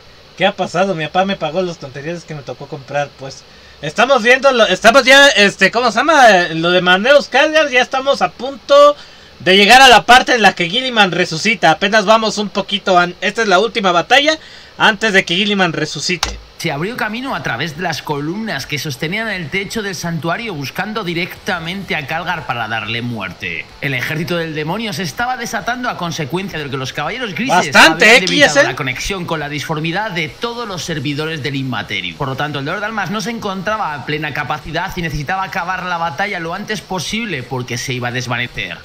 Calgar, cuando vio aparecer al devorador de almas y este se abalanzó sobre él, evadió por poco el primer hachazo del gran demonio. Pero este golpeó al señor del capítulo en el pecho con su puño, arrojándolo a través del santuario con estrépito para golpearse con la estatua de Robot Gilliman. Rápidamente, la guardia de honor de Marneus Calgar se interpuso para salvar al señor del capítulo, pero el devorador de almas consiguió derrotarlos fácilmente. Pero esto le dio tiempo al señor de ultramar para levantarse y rugir con un grito de guerra tronador contra el gran demonio de Corne.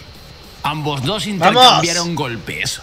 Marneus Calgar perdió su mandíbula por un poderoso puñetazo del dolor de almas. ¡Oh! Pero el señor de ultramar consiguió reventarle la rodilla a este semidios demoníaco, provocando que cayera, dándole la oportunidad perfecta para golpearle con todas sus fuerzas en la cabeza al dolor de almas, rompiendo así toda la conexión que éste tenía con el plano material. Oh, A su vez, esto provocó el desvanecimiento de todas las huestes demoníacas porque se encontraban ancladas al Materium por la potente conexión que el gran demonio tenía con Pues los eso parece, menores. Kiesen.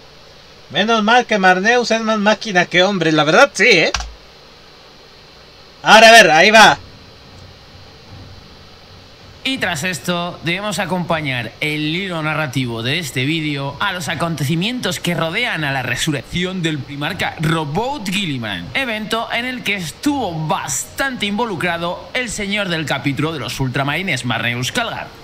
Tras la apertura de la Cicatrix Maledictum, a consecuencia de la decimotercera cruzada negra de Abaddon, Belisarius Cole, junto a la Santa Celestina y a la sacerdotisa Inar y Brain, acudieron con urgencia al reino de Ultramar, pues tenían la idea de resucitar directamente al primarca de los ultramarines, ya que era una pieza clave para enfrentarse contra las fuerzas del caos. El hechicero Zarafiston había avisado previamente a Badón de que algo realmente funesto se iba a cocer en el reino de Ultramar, por lo que efectivos de la Legión Negra acudieron directamente a esta área para someterla a un castigo intenso. Marneus Calgar, junto a su propio capítulo, aguantó heroicamente las constantes embestidas de los miembros de la Legión Negra. No, pues sí. Y en medio de ese caos se presentaron directamente ante él este extraño triunvirato. Cuando le propusieron el plan de que tenían que acudir directamente a donde se encontraba el cuerpo del primarca, Marneus Calgar quedó totalmente escandalizado, puesto no iba a dejar que ningún seno se acercara a tocar el cuerpo del padre genético de todos los ultramarines. pues sí, pues ¿cómo se llama? Una buena sabroseada y todo el mundo cae. Pero el bibliotecario jefe Tigurius consiguió persuadir y convencer al señor del capítulo, puesto que había sufrido una serie de sueños premonitorios sobre estos acontecimientos. A ver. Marneus Sí, ya vimos. lo que el eh, para aquellos que no habían visto las reacciones, ya vimos lo que es la resurrección de Gilliman y sí, conocemos muy bien esta historia, está muy buena la verdad. bibliotecario jefe le dijo porque había comprobado a lo largo del tiempo que las visiones de futuro que éste tenía eran sumamente precisas y no deberían ser desestimadas. Acompañado junto a su guardia de honor, Marneus Calgar llevó a Ibrain, a Cole y a la Santa Celestina directamente al mausoleo donde se encontraba el primarca. Pero las fuerzas de la Legión Negra acudieron al mismo recinto para evitar que se produjera este milagro. Pero gracias a la férrea defensa encabezada por el señor de Ultramar, finalmente, gracias a la armadura del destino de Belisarius Cole y a un hechizo de la sacerdotisa Brain, el primarca volvió de nuevo a la vida, dejando absolutamente conmocionado al señor. Sí, ya lo vi, ya lo vi, eh, acabo de verlo ahorita y está interes- está está muy buena esta miniatura, eh, se ve se ve bastante interesante. A ver, ahí vamos. cuando contempló al Lord de la decimotercera Legión caminar de nuevo entre los suyos. Los efectivos de la Legión Negra fueron rápidamente devastados con la incorporación de Gilliman al combate. Tras estos sucesos, cuando la calma se recuperó, Gilliman convocó a una compañía selecta para que lo atendieran en el santuario del Señor del Capítulo. Este había sido durante mucho tiempo el dominio y la sala del trono de Marneus Calgar. Ahora se convertiría en un espacio propio del primarca. Y fue aquí donde fue investido formalmente como señor de ultramar y maestro de los ultramarines. Calgar, Tigurius y Agemán y los restantes lugartenientes más cercanos estuvieron presentes en el acto de elevación de Gliman. Al concluir la ceremonia, el primarca se levantó y se dirigió a la asamblea. Había mucho por hacer e innumerables preguntas para las que el primarca necesitaba respuesta. Oh, sí. Durante la batalla para retomar Macragh, Marneus supervisó ataques precisos para recuperar la capital planetaria de las baterías orbitales primarias de Magna Civitas. Muy pronto, columnas de luz de rubí se elevaron hacia los cielos para expulsar a las naves de las fuerzas del caos de las órbitas del planeta capital de los ultramarines. Sin embargo, antes de que la campaña estuviera completamente finalizada, Gilliman anunció que había llegado el momento de dejar Ultramar atrás y viajar a Terra para reunirse con su padre el emperador. Pero no se llevó consigo a los miembros más destacados del capítulo de los ultramarines, por lo que ordenó a Marneus Calgar, a Tigurius y el capitán alemán que permanecieran y completaran la reconquista de Ultramar. En verdad, el destino del restaurado reino de los 500 mundos no podría estar en manos más seguras de aquellos héroes que habían conseguido liderar y gobernar Puede ese territorio durante tanto tiempo. Aunque ¿Qué dice? ¿Cómo que Marneus con dos guardias vale 60 dólares? Ni el gobierno roba tan descaradamente, sí, ¿eh? ¿60 dólares? ¿En serio? ¿En serio? Pues claro, Carga tiene el león de su lado, la verdad sí, ¿eh?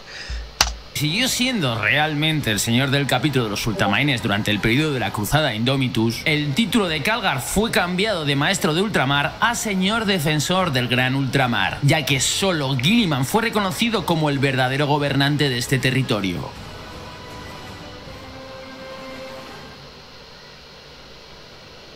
No manches, ¿en serio? Y ¿60 tras esto, dólares? uno de los hitos más importantes de Marneus Calgar fue el proceso de reconvertirse en Marine Primaris.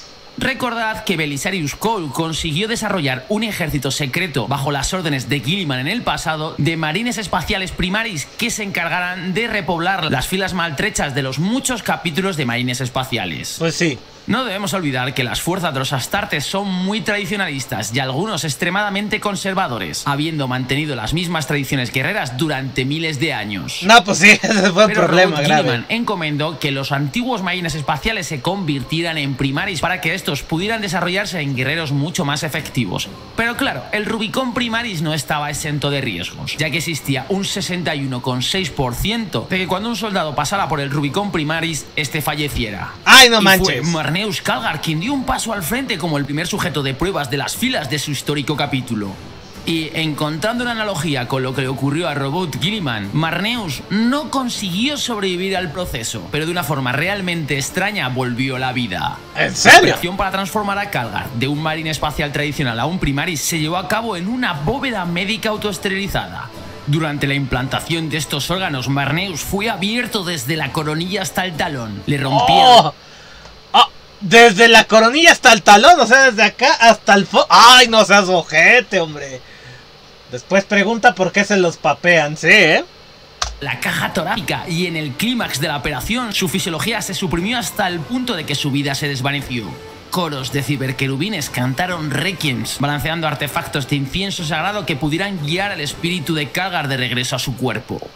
Pasaron 10 largos minutos, luego 20. Los cirujanos con cara de calavera chasqueaban, murmuraban y apuñalaban la carne torturada. Pero Oh. finalmente Lord Calgar volvió a la vida. Rompió serio? sus ataduras con un rugido estrangulado y manchado de sangre, regresando de nuevo al plano existencial. Calgar, no quiero incienso, no quiero incienso, quiero anestesia. Buena esa, ¿eh? Y afortunadamente ese porcentaje de mortalidad no afectó a ningún maestro de capítulo de la primera fundación. No, pues sí, ¿eh? gracias a la ayuda del horno belisario que lo preparaba para la batalla. El señor del capítulo había logrado regresar desde más allá del borde de la muerte y había demostrado a sus marines espaciales que la transformación era posible. No, pues sí. Tras estos acontecimientos, Calgar recibió una visión psíquica de su buen amigo Tiburis con una orden directa del propio Gilliman de viajar a Vigilos y evitar a toda costa su caída. El señor del capítulo fue designado por Gilliman como comandante supremo de todas las fuerzas imperiales en Vigilus y fue el responsable de librar la guerra de la bestia. Durante el apogeo de esta lucha contra las fuerzas del caos, Calgar pudo cambiar el rumbo de esta contienda gracias a una alianza con los Aldari. El marine Uh. espacial pudo convencer a los senos ¿Qué dicen? Sospechoso.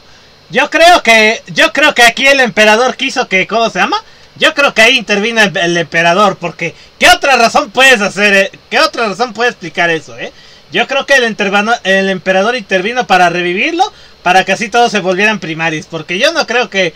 Yo esto ya lo considero demasiado para ser simple coincidencia. Yo estoy de acuerdo contigo, Para que se unieran a él a la hora de enfrentarse a las fuerzas del caos y consolidó el pacto al aceptar los términos del vidente que se encargaba de liderar a esta fuerza de Aldaris.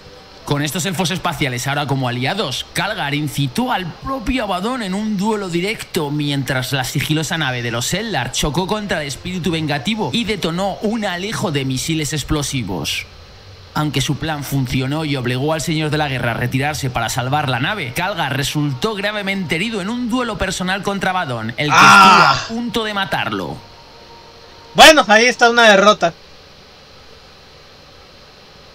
Ahí hay una derrota. Durante esta contienda, uno de los guanteletes de Calgar le fue arrancado del cuerpo. El otro fue machacado, cercenado y le quitaron los dedos, quedando también sus dos corazones expuestos durante este enfrentamiento contra Badon. Apenas sobrevivió a esta batalla. Su garganta devastada fue suturada, reforzada y regenerada. Los apotecarios le administraron intensos baños químicos de regeneración, cirugía cibernética y un largo tratamiento de rejuvenecimiento. Los apotecarios también consiguieron salvar su corazón secundario, pero el primario fue completamente destruido. Oh. Marneus Calgar no ha vuelto a ser visto en la línea de batalla desde estos acontecimientos, pensando las fuerzas del imperio que había caído, siendo elevado por el Adeptus Ministrorum al rango de un santo, aunque por supuesto todavía Marneus Calgar sigue con vida. Ok.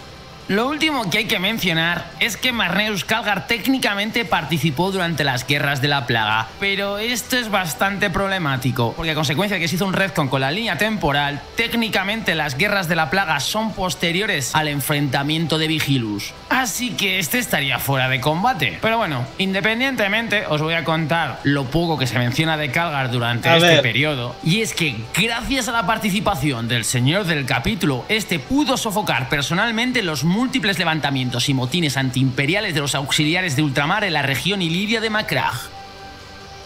Ok, sí, eso ya es un problema, ¿eh? Y nada más, esto es todo sobre la historia y el trasfondo de Marneus Calgar. No, pues la verdad está bueno este personaje. El que otrora fuera considerado más o menos como un primarca antes de que Gilliman volviera a la palestra. Porque tanto a nivel simbólico como a nivel bélico hemos podido comprobar que Marneus era una figura extraordinariamente relevante en el trasfondo de Warhammer 40.000. Pero ha sido un poco opacado. Pues según explican en la Guerra de la Plaga sí, que, que la gente, que hubo sí gente que se rebeló creo que a lo mejor cayeron, en, ahora sí que cayeron en, la, en los deseos de caer en el... ¿Cómo se llama? Como en, eh, en brazos de papá Nurgle. Consecuencia del retornar tanto de Lionel Johnson como de Robot Gilliman. Algo que también creo que le ha pasado a Rael que estas grandes personalidades van a estar un poco a la sombra de los primarcas, ya que son bastante más llamativos y levantan muchas más pasiones que estos señores del capítulo. Así que nada más, con esto llegamos al final del episodio de hoy, el cual espero que hayáis disfrutado y os haya permitido conocer un poco más a Marneus Calgar. Pues sí. Si ha sido así, os agradezco que le deis un me gusta y si no estáis suscritos, ¿a qué esperáis para hacerlo? Por supuesto, también dar las gracias a los miembros del canal de YouTube de Patreon y por supuesto a la tienda colaboradora del canal. Es un fantástico día y nos vemos en próximos vídeos. ¡Hasta luego! Bueno, antes del siguiente video, debo de decirlo, ¿eh? Es impresionante este personaje y saben, de hecho creo que esto explica en cierta forma lo que vi en eh, otra cosa que apareció en Text to Speech. Eh, ¿Recuerdan que vimos un video de Text to Speech de Kaya Kane?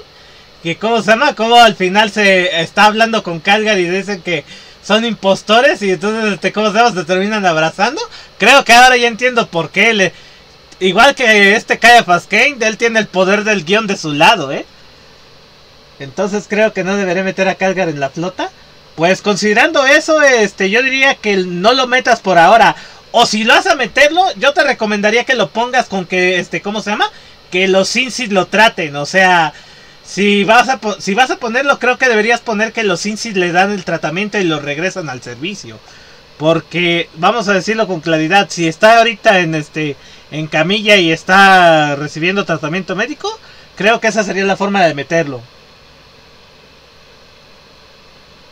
De que cómo se llama lo vayas a lo pongas primero que vaya al que lo que lo lleven ahí con este los Sinsit, que lo traten y que ahí este y que lo vuelvan a meter al servicio. Si están quemando a Game Workshop los ingleses y gringos, a ti te doxean por lo menos. ¿Qué dice? Volví, se me había caído el internet. Entonces creo que no deberé meter acá. Bueno, si están, si están quemando a Game Workshop, los ingleses y gringos a ti te doxean por lo menos. Wow. A ver, ¿qué dices? Algo que me puse a pensar solo por mame. ¿Qué habría pasado si en vez de anunciarse custodios mujeres, se hubiera anunciado a la federación? Mira, creo que hasta se hubiera, creo que hasta hubiera sido mejor, ¿eh? Hubiera sido muchísimo mejor porque diría, ah, ok, están intentando por fin meter un elemento que no se ha explorado mucho la era dorada de la tecnología. Creo que sería mejor eso, ¿eh? Sería mucho mejor tu idea de la federación que los custodios mujeres. Porque sí, es cierto que podría sentirse como un gran Deus ex máquina, pero por lo menos estarían intentando meter una, una facción que tiene algo de plausibilidad. Humanos de la edad dorada de la tecnología que por razones de, de, por caer en una tormenta disforme llegaron a la, este, ¿cómo se llama? El milenio 42. Y no se quejarían de Tiamat y Lilith y otros personajes, ¿no? No, porque, o sea, hasta... Mira, tu explicación hasta ahorita de su origen, que de hecho la tecnología de los pretorianos es en parte la tecnología que el emperador usó para los primarcas, se mantiene, o sea, no tiene, este, ¿cómo se llama? Tiene peso. Y hasta refuerza un poco lo de la teoría de por qué el emperador no hizo primarcas mujeres. Y bueno, ya estamos, ya hasta, ahora sí que entre, entre tú y todos los que estamos colaborando aquí, ya hasta pensamos una idea de cómo hacer que hasta eso suena suene muy plausible, o sea, la verdad es que sí sí es este sí es una cosa que la verdad molesta bastante. La verdad creo que queda mejor tu idea que la babosada que están que lo de las las custodias mujeres. Aún con todo y todo queda mejor.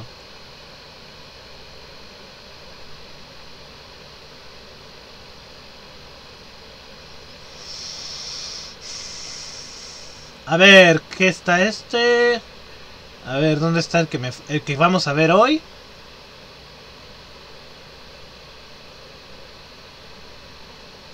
A ver, ¿dónde está?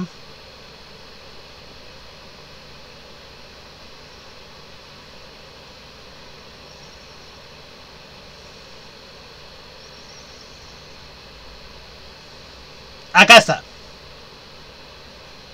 ¿Qué dice?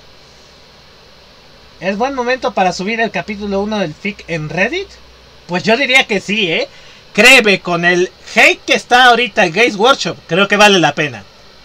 Sí, la verdad creo que sí, ¿eh?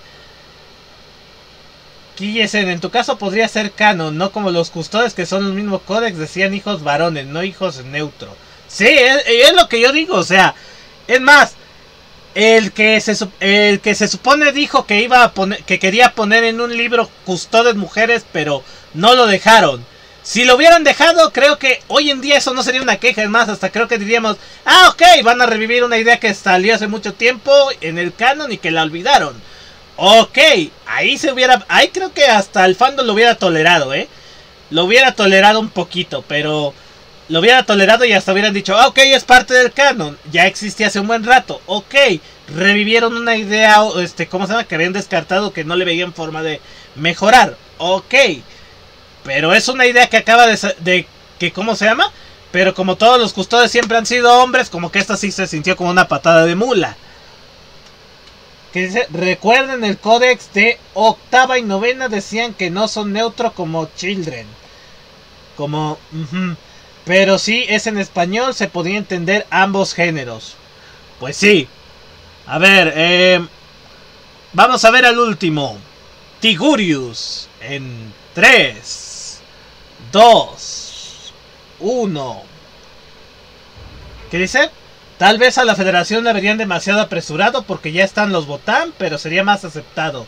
Sí, y mira, te digo por qué sí sería aceptado.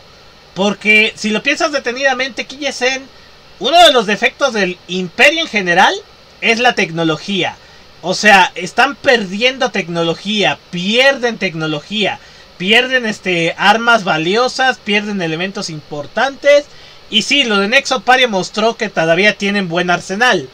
Pero vamos a decirlo con honestidad, el defecto del imperio es su pérdida tecnológica que de repente llegue una facción que es de la mejor época tecnológica de la humanidad y que le esté trayendo armas y que esté tratando de llevarse bien con el imperio, muestra que creo que hasta sería un, elemento de esperanza como lo serían los Inari en los Eldar, o sea, una esperanza que no están viendo ahorita en el imperio, una esperanza que no les está cayendo, sí, los, los primarcas ciertamente son un elemento de esperanza, pero no son tan fuertes como lo que es el elemento de la tecnología.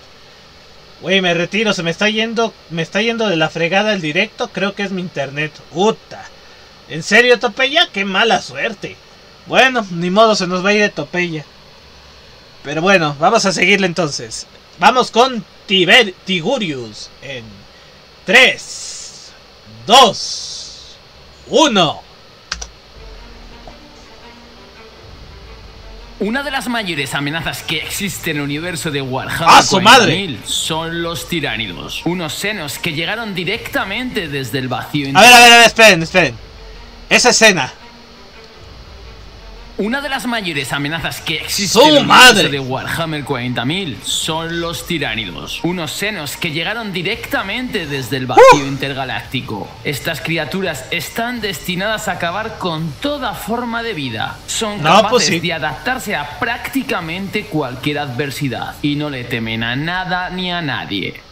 Bueno, a casi nadie. Ok. Porque existe una figura dentro del imperio que es el counter de estos monstruos. Este Y esas madres de la federación se chingó, me hace sentir que exageré. No, no lo... Yo, yo, te, yo te insisto, con la tecnología que tiene la era dorada, no, no lo exageraste tanto, ¿eh? es el bibliotecario jefe de los ultramarines, Barro Tigurius. Barro. Ha demostrado ser uno de los mayores héroes dentro de todo el imperio, frenando a múltiples hechiceros del caos, demonios y tiránidos. Tal es el apoyo que tiene que incluso Calgar y Cato Sicarius lo han defendido contra acusaciones directas de la Inquisición por sus extraordinarias cualidades, ¡Ah, de las que hablaremos mucho más a fondo a lo largo de este vídeo. Pero bueno, hecha esta presentación, vamos a conocer muchísimo mejor al bibliotecario jefe de los ultramarines. A ver. Espero que disfrutéis del vídeo.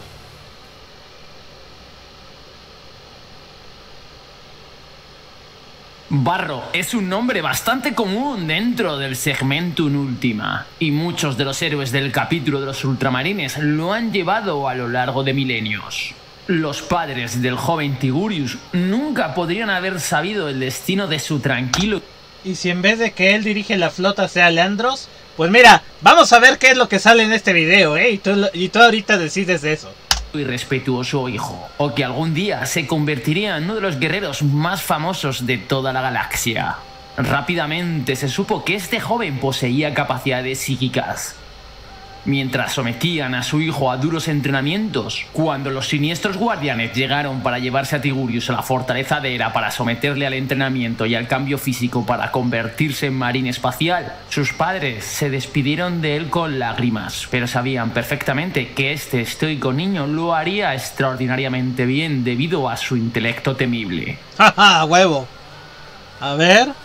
Para el ojo entrenado de los bibliotecarios del capítulo, que examinaban a todos y a cada uno de los aspirantes, Parro Tigurius era obviamente un psico de un potencial poco común, por lo que mantuvieron una vigilancia atenta mientras prosperaba en todas y cada una de las tareas que se le mandaban. También llamó la atención de los capellanes del capítulo. Incluso en esa etapa temprana fue como Tigurius parecía preparado para los desafíos planteados, sin importar cuán inusuales fueran. El epistolario Cephus supuso en ese momento que Tigurius estaba de alguna manera engañando a los sargentos instructores y capellanes. Advertido de las sospechas del bibliotecario, el capellán supervisor, un tal Hortan Cassius, que por supuesto es uno de los personajes más famosos de los ultramarines, encargó a los aspirantes una tarea imposible de ganar. Mientras sus compañeros luchaban por cargar sus volteres modificados adrede para que no pudieran manejarlos, Tigurius observaba con calma, sopesando las opciones que tenía disponible. Finalmente, caminó tranquilamente Es el mismo que vimos en el video anterior, es un capellán. Y al parecer es un capellán, no un capitán, es un capellán. hacia Cassius que esperaba, y sin miedo en sus ojos, miró el yelmo del capellán y le dijo que el desafío era imposible. Casio, por su parte, parecía indignado por las palabras de Tigurius, y con unas palabras que resonaron en toda la sala le dijo, lo vas a hacer. Por supuesto, como en muchos otros asuntos, el joven Tigurius demostró una perspicacia antinatural. Con el tiempo, los hermanos de batalla del capítulo determinaron la naturaleza del raro talento de Tigurius. Además de poseer un potencial psíquico prodigioso, aprendieron que éste tenía la capacidad de prever acontecimientos futuros.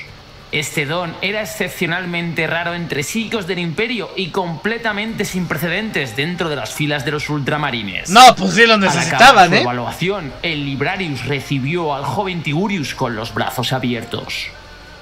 Pero en los primeros años de servicio al capítulo, la habilidad de Tigurius despertó una terrible sospecha entre sus hermanos de batalla, incluso dentro de los bibliotecarios. De hecho, si visteis el vídeo de Cato Sicarius, Sí, ya lo vimos. un miembro de la Inquisición le acusó directamente de jugar con fuerzas prohibidas de la disformidad, porque este dominio tan extraño que poseía para ver el futuro era potencialmente muy herético. Pero ¿Qué dice? Mm, si con suerte Tigurius está libre, podría ser que él advierta de no atacar a la flota de la Federación. Pues sí, oye, si tiene ese, si tiene un buen don para ver el futuro, creo que sí, ¿eh? Creo que sería lo mejor que pongas que Tigurius tuvo una visión y que la peor estupidez que pueden hacer es atacar a la Federación. Sí, yo diría que hagan. e- Yo diría que si vas a poner eso, lo marques. Sí, yo diría que si vas a poner a Tigurius, eso lo pongas, ¿eh? Con el tiempo, el escepticismo que engendró disminuyó, porque el valor de sus habilidades estaba claro para todos. Cuando fue desplegado en una zona de guerra, Tigurius pudo brindar información táctica a los capitanes y sargentos que se dedicaban a trazar estrategias. En la cruzada de Altor, Tigurius advirtió a los exploradores de la décima compañía de Que la visión que vio fue los restos de la flota flotando en el espacio. Sí, exactamente. y como no era una visión en la que se involucra a Tiamat, esa visión era perfectamente obvia. De hecho, es más, eh, que ¿cómo se llama?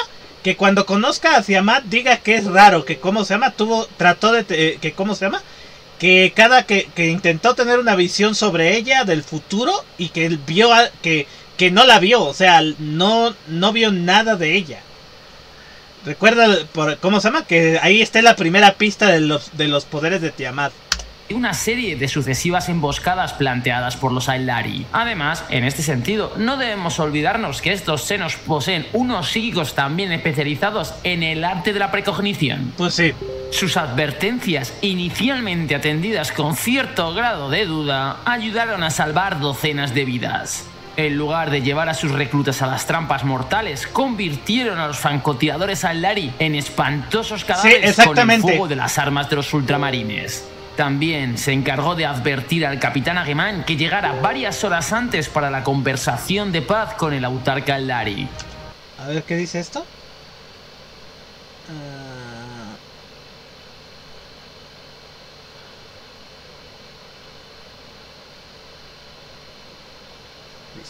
Cuando el general de estos senos llegó con su séquito, encontró el follaje de la jungla que había ocultado los escuadrones de escorpiones asesinos, reducido completamente a rastrojos por el fuego de sus tropas. Y por supuesto, el capitán los estaba esperando con su espada desenvainada.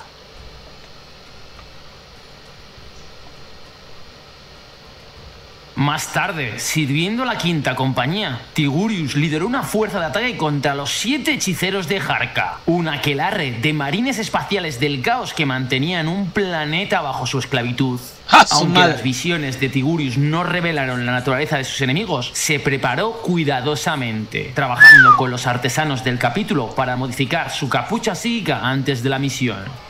Al principio, el asalto a Jarka fue bastante bien. Los marines espaciales asaltaron la fortaleza y se abrieron camino por las concurridas calles llenas de renegados e infieles. Pensando en frustrar a los ultramarines, los siete hechiceros los atacaron mientras estaban enfrascados a la hora de acabar con cultistas. En contraste con sus decrépitos secuaces, los hechiceros del caos eran verdaderos dioses de la guerra, vestidos con servoarmaduras negras brillantes y rodeados por crepitantes nimbos de energía disforme. Estos se encargaron de acabar con docenas de ultramarines que se interpusieron en su camino. Solo Tigurius sintió el poder cambiante de la disformidad en acción, mientras los siete hechiceros canibalizaban su energía. Se giró para enfrentarse a estos nuevos enemigos, levantando su bastón psíquico mientras los cuerpos de amigos y enemigos comenzaban a explotar a consecuencia de las energías del Immaterium. Tigurius consiguió detener su avance con un muro de fuego que surgió de su bastón psíquico, una conflagración ardiente que abrasó un camino a través de los cuerpos tendidos de sus seguidores mortales para envolverlos en llamas. Mientras Barro Tigurius libraba un duelo psíquico, el sargento Orestes y un puñado de marines tácticos se pusieron de pie para defenderlo, porque una multitud de fanáticos trataba de acabar con él. Aunque a decir verdad, que un bibliotecario marine espacial contra siete hechiceros del caos no apuntaban a que las cosas saldrían bien y las probabilidades de éxito eran sumamente bajas. Pues sí, ¿eh? Yo lo veo Pero como por muy bajo. supuesto, aún así, Tigurius no se acobardó. Gritó de rabia y empleó más energía de su alma para lanzar un ataque. Las llamas danzaban alrededor de sus enemigos, lamiendo la energía que brillaba alrededor de los marines espaciales del Oh. caos. El rostro de Tigurius se contrajo de dolor y las llamas adhieron al rojo vivo. La capucha siga sobre sus hombros irradiaba el poder que le recorría y los ojos del bibliotecario se inyectaron en sangre cuando la carretera de rocacemento comenzó a burbujear y a derretirse. Mientras los siete hechiceros se retorcían en llamas, el grito de rabia de Tigurius se convirtió en un chillido ronco y los siete fueron quemados hasta morir, uno por uno, lentamente al principio y luego más rápido. Cuando todo acabó, los cuerpos blindados humeantes de los siete cayeron ruidosamente al suelo, hundiéndose en el camino hirviente. No, pues sí. A raíz del incidente de Harka, comenzó a difundirse la noticia del poder de Tigurius. Su capucha siga hecha medida fue llamada por los acontecimientos de Harka como fuego infernal. Orestes, que había luchado junto a Tigurius y había visto su coraje de primera mano, se convirtió en amigo y confidente del bibliotecario. Una amistad que le resultó útil a ambos durante mucho tiempo. Con tantas glorias a sus espaldas, el ascenso de Tigurius a rangos superiores era cuestión de tiempo. No, pues la verdad sí, ¿eh? Rápidamente destacó como codiciario y durante un tiempo Tigurius comenzó a demostrar su valor excepcional a los jefes de la flota del capítulo, advirtiendo de varias amenazas a las flotas de los ultramarines simplemente en virtud de su capacidad de precognición, porque nadie tenía idea salvo él de que eso iba a ocurrir. Pero el poder natural de Tigurius era tan grande que rápidamente fue ascendido a pistolario, siendo capaz de poder guiar tanto a los capitanes como a los sargentos con su destreza psíquica. el difunto capitán Invictus describió a Tigurius tras la sangrienta matanza conocida como la limpieza de Rat como el mejor administrador que el monitor nunca había conocido. El bibliotecario advirtió al capitán Ideus de la cuarta compañía de la llegada del pecio espacial liderado por el caudillo Macbraca antes de que llegaran a los bordes orientales del segmentum última. Cuando la siniestra nave se materializó del Empirio, una docena de naves de los ultramarines los destrozaron, ignorando la oportunidad de que éstas fueran visibles del todo una vez llegaron de la disformidad y con esto se ganó el ascenso al rango de bibliotecario jefe, siendo un ayudante indispensable al lado del señor del capítulo. Pero sin embargo, no todas las cosas que tiene que realizar Barro Tiburius son de su agrado. Se encargó de dar la orden de sacrificar a su mejor amigo, el sargento Orestes, básicamente para salvar a una docena de otros hermanos de batalla y a un millón de inocentes en la limpieza de las estrellas sagradas. Ha sido testigo en batalla de la Legión de los Condenados y ha contemplado el horror etéreo de su guerra. Este desarrolló un informe siendo una de las representaciones más precisas de la Legión de los Condenados en los archivos imperiales, siendo una de las representaciones más precisas de la Legión de los Condenados en los archivos imperiales. Fíjense, fue el único que logró hacer bien, este, ¿cómo se dice? Hacer a detalle una representación de la Legión de los Condenados, vaya. Informó cómo estos macabros marines espaciales no muertos aparecen aparentemente al azar cuando todo parece perdido. Pues Son capaces de derrotar enemigos con increíbles demostraciones de valor marcial y finalmente desaparecen de nuevo sin dejar ningún tipo de rastro. Desde ese encuentro, básicamente es un Deus ex machina. adivinar quiénes eran estos extraños guerreros, pero todavía no ha tenido éxito. Pues sí. Está difícil eso, ¿eh?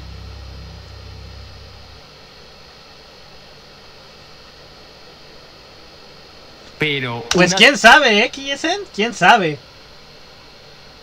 La verdad sí veo difícil esa, quién sabe de las acciones más importantes donde ha participado el propio Tigurius fue cuando acompañó a Marneus Calgar y al primer capitán Agemán Atalasa, donde sus habilidades fueron cruciales para mantener la fortaleza de Castra Tanagra a salvo de las repetidas oleadas de criaturas demoníacas lideradas por la némesis de los ultramarines, el príncipe demonio Macar el Renacido. Un personaje clásico para todas aquellas personas que le gustan los ultramarines, ya que este demonio, siempre que ha tenido la posibilidad de fastidiar a los miembros de la antigua decimotercera legión, lo ha hecho. Y bueno, la verdad es que no ha tenido mucho éxito en esta empresa. Durante cada uno de estos ataques, Tigurius estuvo gravemente dañado, ya que el uso de sus habilidades psíquicas para combatir contra demonios lo debilitaba más rápidamente de lo habitual. Después de semanas de asedio, el muro exterior del fuerte fue invadido, pero Tiburius reunió su poder en una gigantesca explosión que hizo retroceder a los demonios y creó una barrera psíquica que mantuvo a estas entidades a raya, permitiendo a la primera compañía retroceder al torreón interior. El propio Tiburius cayó en coma y estuvo al borde de la muerte durante las siguientes semanas, sin que ningún apotecario pudiera ayudarlo. Macar, que estaba participando activamente en el asedio, se encargó de herir gravemente al capitán Agemán y mantuvo a raya Calgar. Pero justo entonces Tigurius recuperó la conciencia. Aunque estaba demasiado débil para mover sus propias extremidades, una docena de refugiados humanos soportaron su peso y lo ayudaron a llegar al lugar del combate, donde lanzó una explosión psíquica que mandó al demonio fuera de la fortaleza y cortó la conexión con el núcleo disforme del fuerte estelar. Esto le dio a Calgar y a los supervivientes de la primera compañía el breve suspiro que necesitaban para reunirse y lanzar una carga final contra el demonio. Antes de la batalla, Tigurius había predicho que el capitán legendario Uriel Ventris jugaría un papel crucial en el resultado de este conflicto, y como suele pasar, tenía razón. Este capitán y la cuarta compañía de los ultramarines llegaron desde Cal, sabiendo el verdadero nombre de Macar y con una daga nacema, que ya sabéis lo superpoderosa que es. Recordad que gracias al dominio preciso de los nombres demoníacos es fácil controlar y derrotar a estos, pero no es una tarea nada sencilla porque tiene que ser expresado el nombre a la perfección, o de lo contrario no funcionará. Si os interesan más detalles sobre cómo se pueden emplear estos nombres y otras capacidades para dominar las entidades del Immaterium, os dejo en la parte superior el episodio centrado en el que os hablé sobre los caballeros grises. Ok. Y durante la batalla final, gracias al nombre verdadero del demonio, el cual se llamaba anteriormente Malos Carto porque era un capellán de los portadores de la palabra que sirvió activamente a esta legión durante la batalla de Kalt, el señor del capítulo Marneus Calgar destruyó la esencia del demonio, dándole una muerte verdadera con la daga Nacema, oh. saliendo por fin los ultramarines victoriosos de este conflicto. Pues sí. ¿Qué dice? Por los saberes de Sinch, Diamant podría saber los nombres de los mil hijos. Mmm, oye, esa es una buena pregunta, ¿eh? Es una buena pregunta. Yo creo que sí sabría el principio, pero yo creo que no, ¿eh? No debería de saber. Yo digo que debería saber el principio, pero no los nombres. O sea, que el chiste primero es que hay que saber el nombre, porque si no, este, ¿cómo se llama? No le sirve de nada el don. Yo digo que solo pongas que sí sabe el principio, sabe cómo funciona eso del verdadero nombre, pero que, este, ¿cómo se llama? Obviamente no tiene nombres, este, no tiene nombre. Si es que tiene, quizás sería de demonios muy antiguos, de cada dios del caos, o sea, los, los demonios más poderosos, ahora sí, pero que, ¿cómo se llama? Que incluso hasta ella le cuesta algo de trabajo. En especial cosas como pronunciación y esas cosas con uno de los puntos más críticos de toda la historia de Barrio Tigurius. A ver. Lejos del sistema Cryptus, devastado por la guerra, la sombra del enjambre tiránido Leviatán ah, caía sobre un mundo bajo la protección de los ultramarines. Ahí va. Mientras sus guerreros lideraban una retaguardia desesperada para permitir la evacuación de los ciudadanos del mundo, el bibliotecario jefe se enfrentó contra los tiránidos. Pero es importante, para enmarcar la relación de bibliotecario con esta raza senos, que en los últimos años anteriores a este proceso, Tigurius estuvo muy centrado en analizar todo lo relacionado con la mente enjambre. La exactitud de sus predicciones sobre los movimientos y las intenciones del gran devorador han llevado a muchas personas a especular que Tigurius ha conseguido penetrar en la mente enjambre, una hmm. acción únicamente al alcance de los seres más poderosos de la galaxia.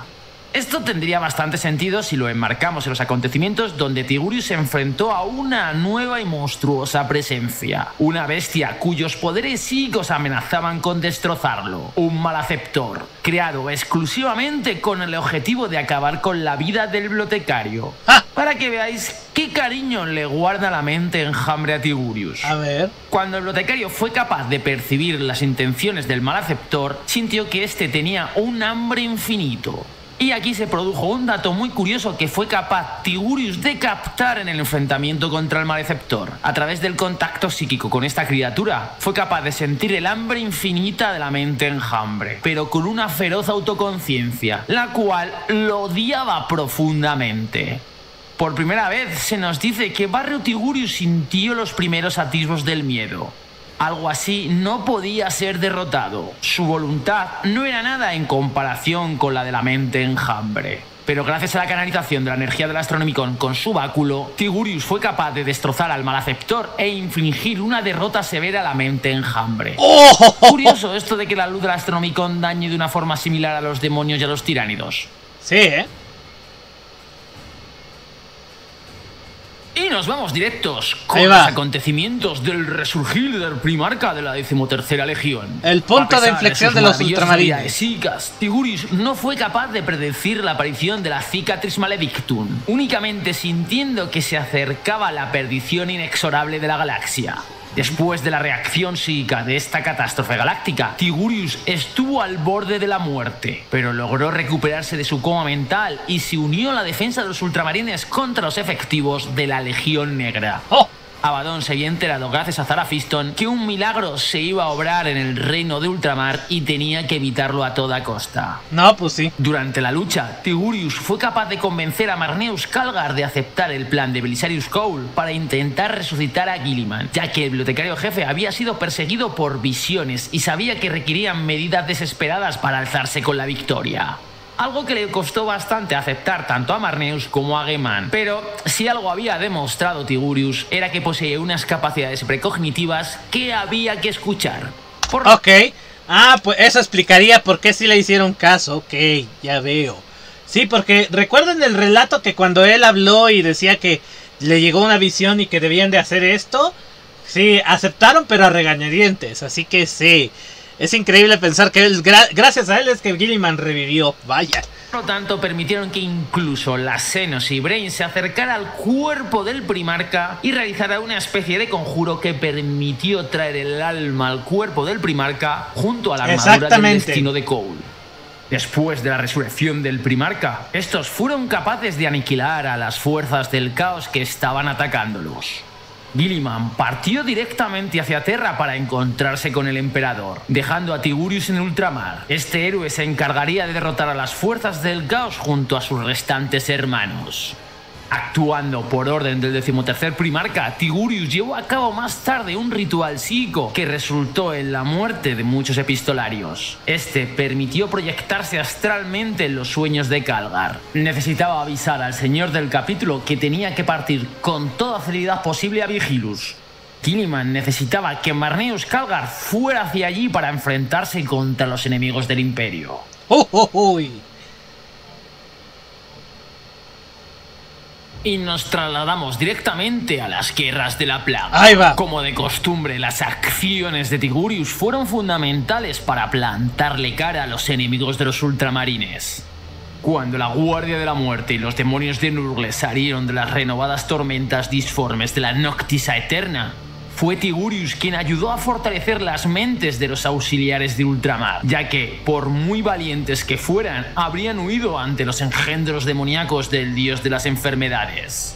Durante este proceso fue cuando Tigurius pasó el Rubicon Primaris, transformándose en uno de estos nuevos marines espaciales. Ah, ok, él también ya es Primaris, se encargó de supervisar la cuarentena de la biblioteca de Ptolomeo y en gran parte de la defensa de esta contra las fuerzas del caos. Cuando la gran inmundicia Rotigus se manifestó dentro de la biblioteca, Tigurius apareció para salvarla. Este se enfrentó contra el demonio en una breve batalla antes de que la gran inmundicia se marchara porque Nurgle lo estaba reclamando. No olvidemos que justo en este momento es cuando las fuerzas demoníacas de Zench y Corne se dedican a asaltar los reinos del dios de la plaga. Oh, oh, oh. Vaya. Y lo último que conocemos sobre el bibliotecario jefe de los ver, va. es lo que ocurrió durante las campañas de Arcas del Augurio. Tigurius lideraba el grupo de trabajo de la decimosegunda flota Primus, cuando la cercana fortaleza monasterio de los Ángeles Oscuros, La Roca, fue atacada directamente por las fuerzas del caos de Bastor. Fue Tigurius y sus tropas las responsables de auxiliar a la otrora primera legión de los marines espaciales. Y juntos fueron capaces de barrer sistemáticamente a todos los traidores que allí se encontraron. Ah, peleó contra- con los ángeles oscuros. como Belacor consiguieron huir a tiempo. Uh, Y también hay que destacar que como le suele pasar a los ángeles oscuros, no le gusta cuando los visitantes vienen a husmar en sus asuntos. No, Por pues lo sí. tanto, una vez que fueron capaces de derrotar a las fuerzas del caos, los ángeles oscuros se sintieron incómodos con la presencia de Tigurius y sus fuerzas en la roca. ¿En serio? Y nada más, con esto llegamos al final. Qué malagradecidos, eh, ¿eh? Pero son los ángeles oscuros, ¿qué dice? Yo sigo pensando que no estarían escapando si hubieran dicho que los demonios son seres disformes y que se pueden matar. En cambio dijeron que son seres casi invencibles, pues sí. final del episodio de hoy, el cual espero que hayáis disfrutado. Si ha sido así, os agradezco que le Bueno, pues ya por lo menos por aquí sabemos un poco más de los ultramarines más importantes de lo que es este. ¿Cómo se dice? De, bueno, tres de los cuatro ultramarines más importantes de lo que es este la- los armadas de Gilliman. Y la verdad es que me faltó otro, Uriel Ventrich, pero pues ya vamos a llegar a las dos horas, así que vamos a ir dejando el streaming hasta aquí. Entonces podría usar a Tigurius. Puede ser, ¿eh? Sí, la verdad sí, yo te recomendaría que lo uses. Considerando que él es un muy buen psíquico, yo recomendaría que lo uses con eso de la predicción de no los ataquen. Técnicamente sí son invencibles porque se necesita mucho para darle muerte para siempre. Aparte que los demonios son como los fantasmas de Pac-Man. Pues sí, exactamente, Neomarx. Y hace un buen rato que no te apenas llegaste aquí, pero llegaste tarde, amigo.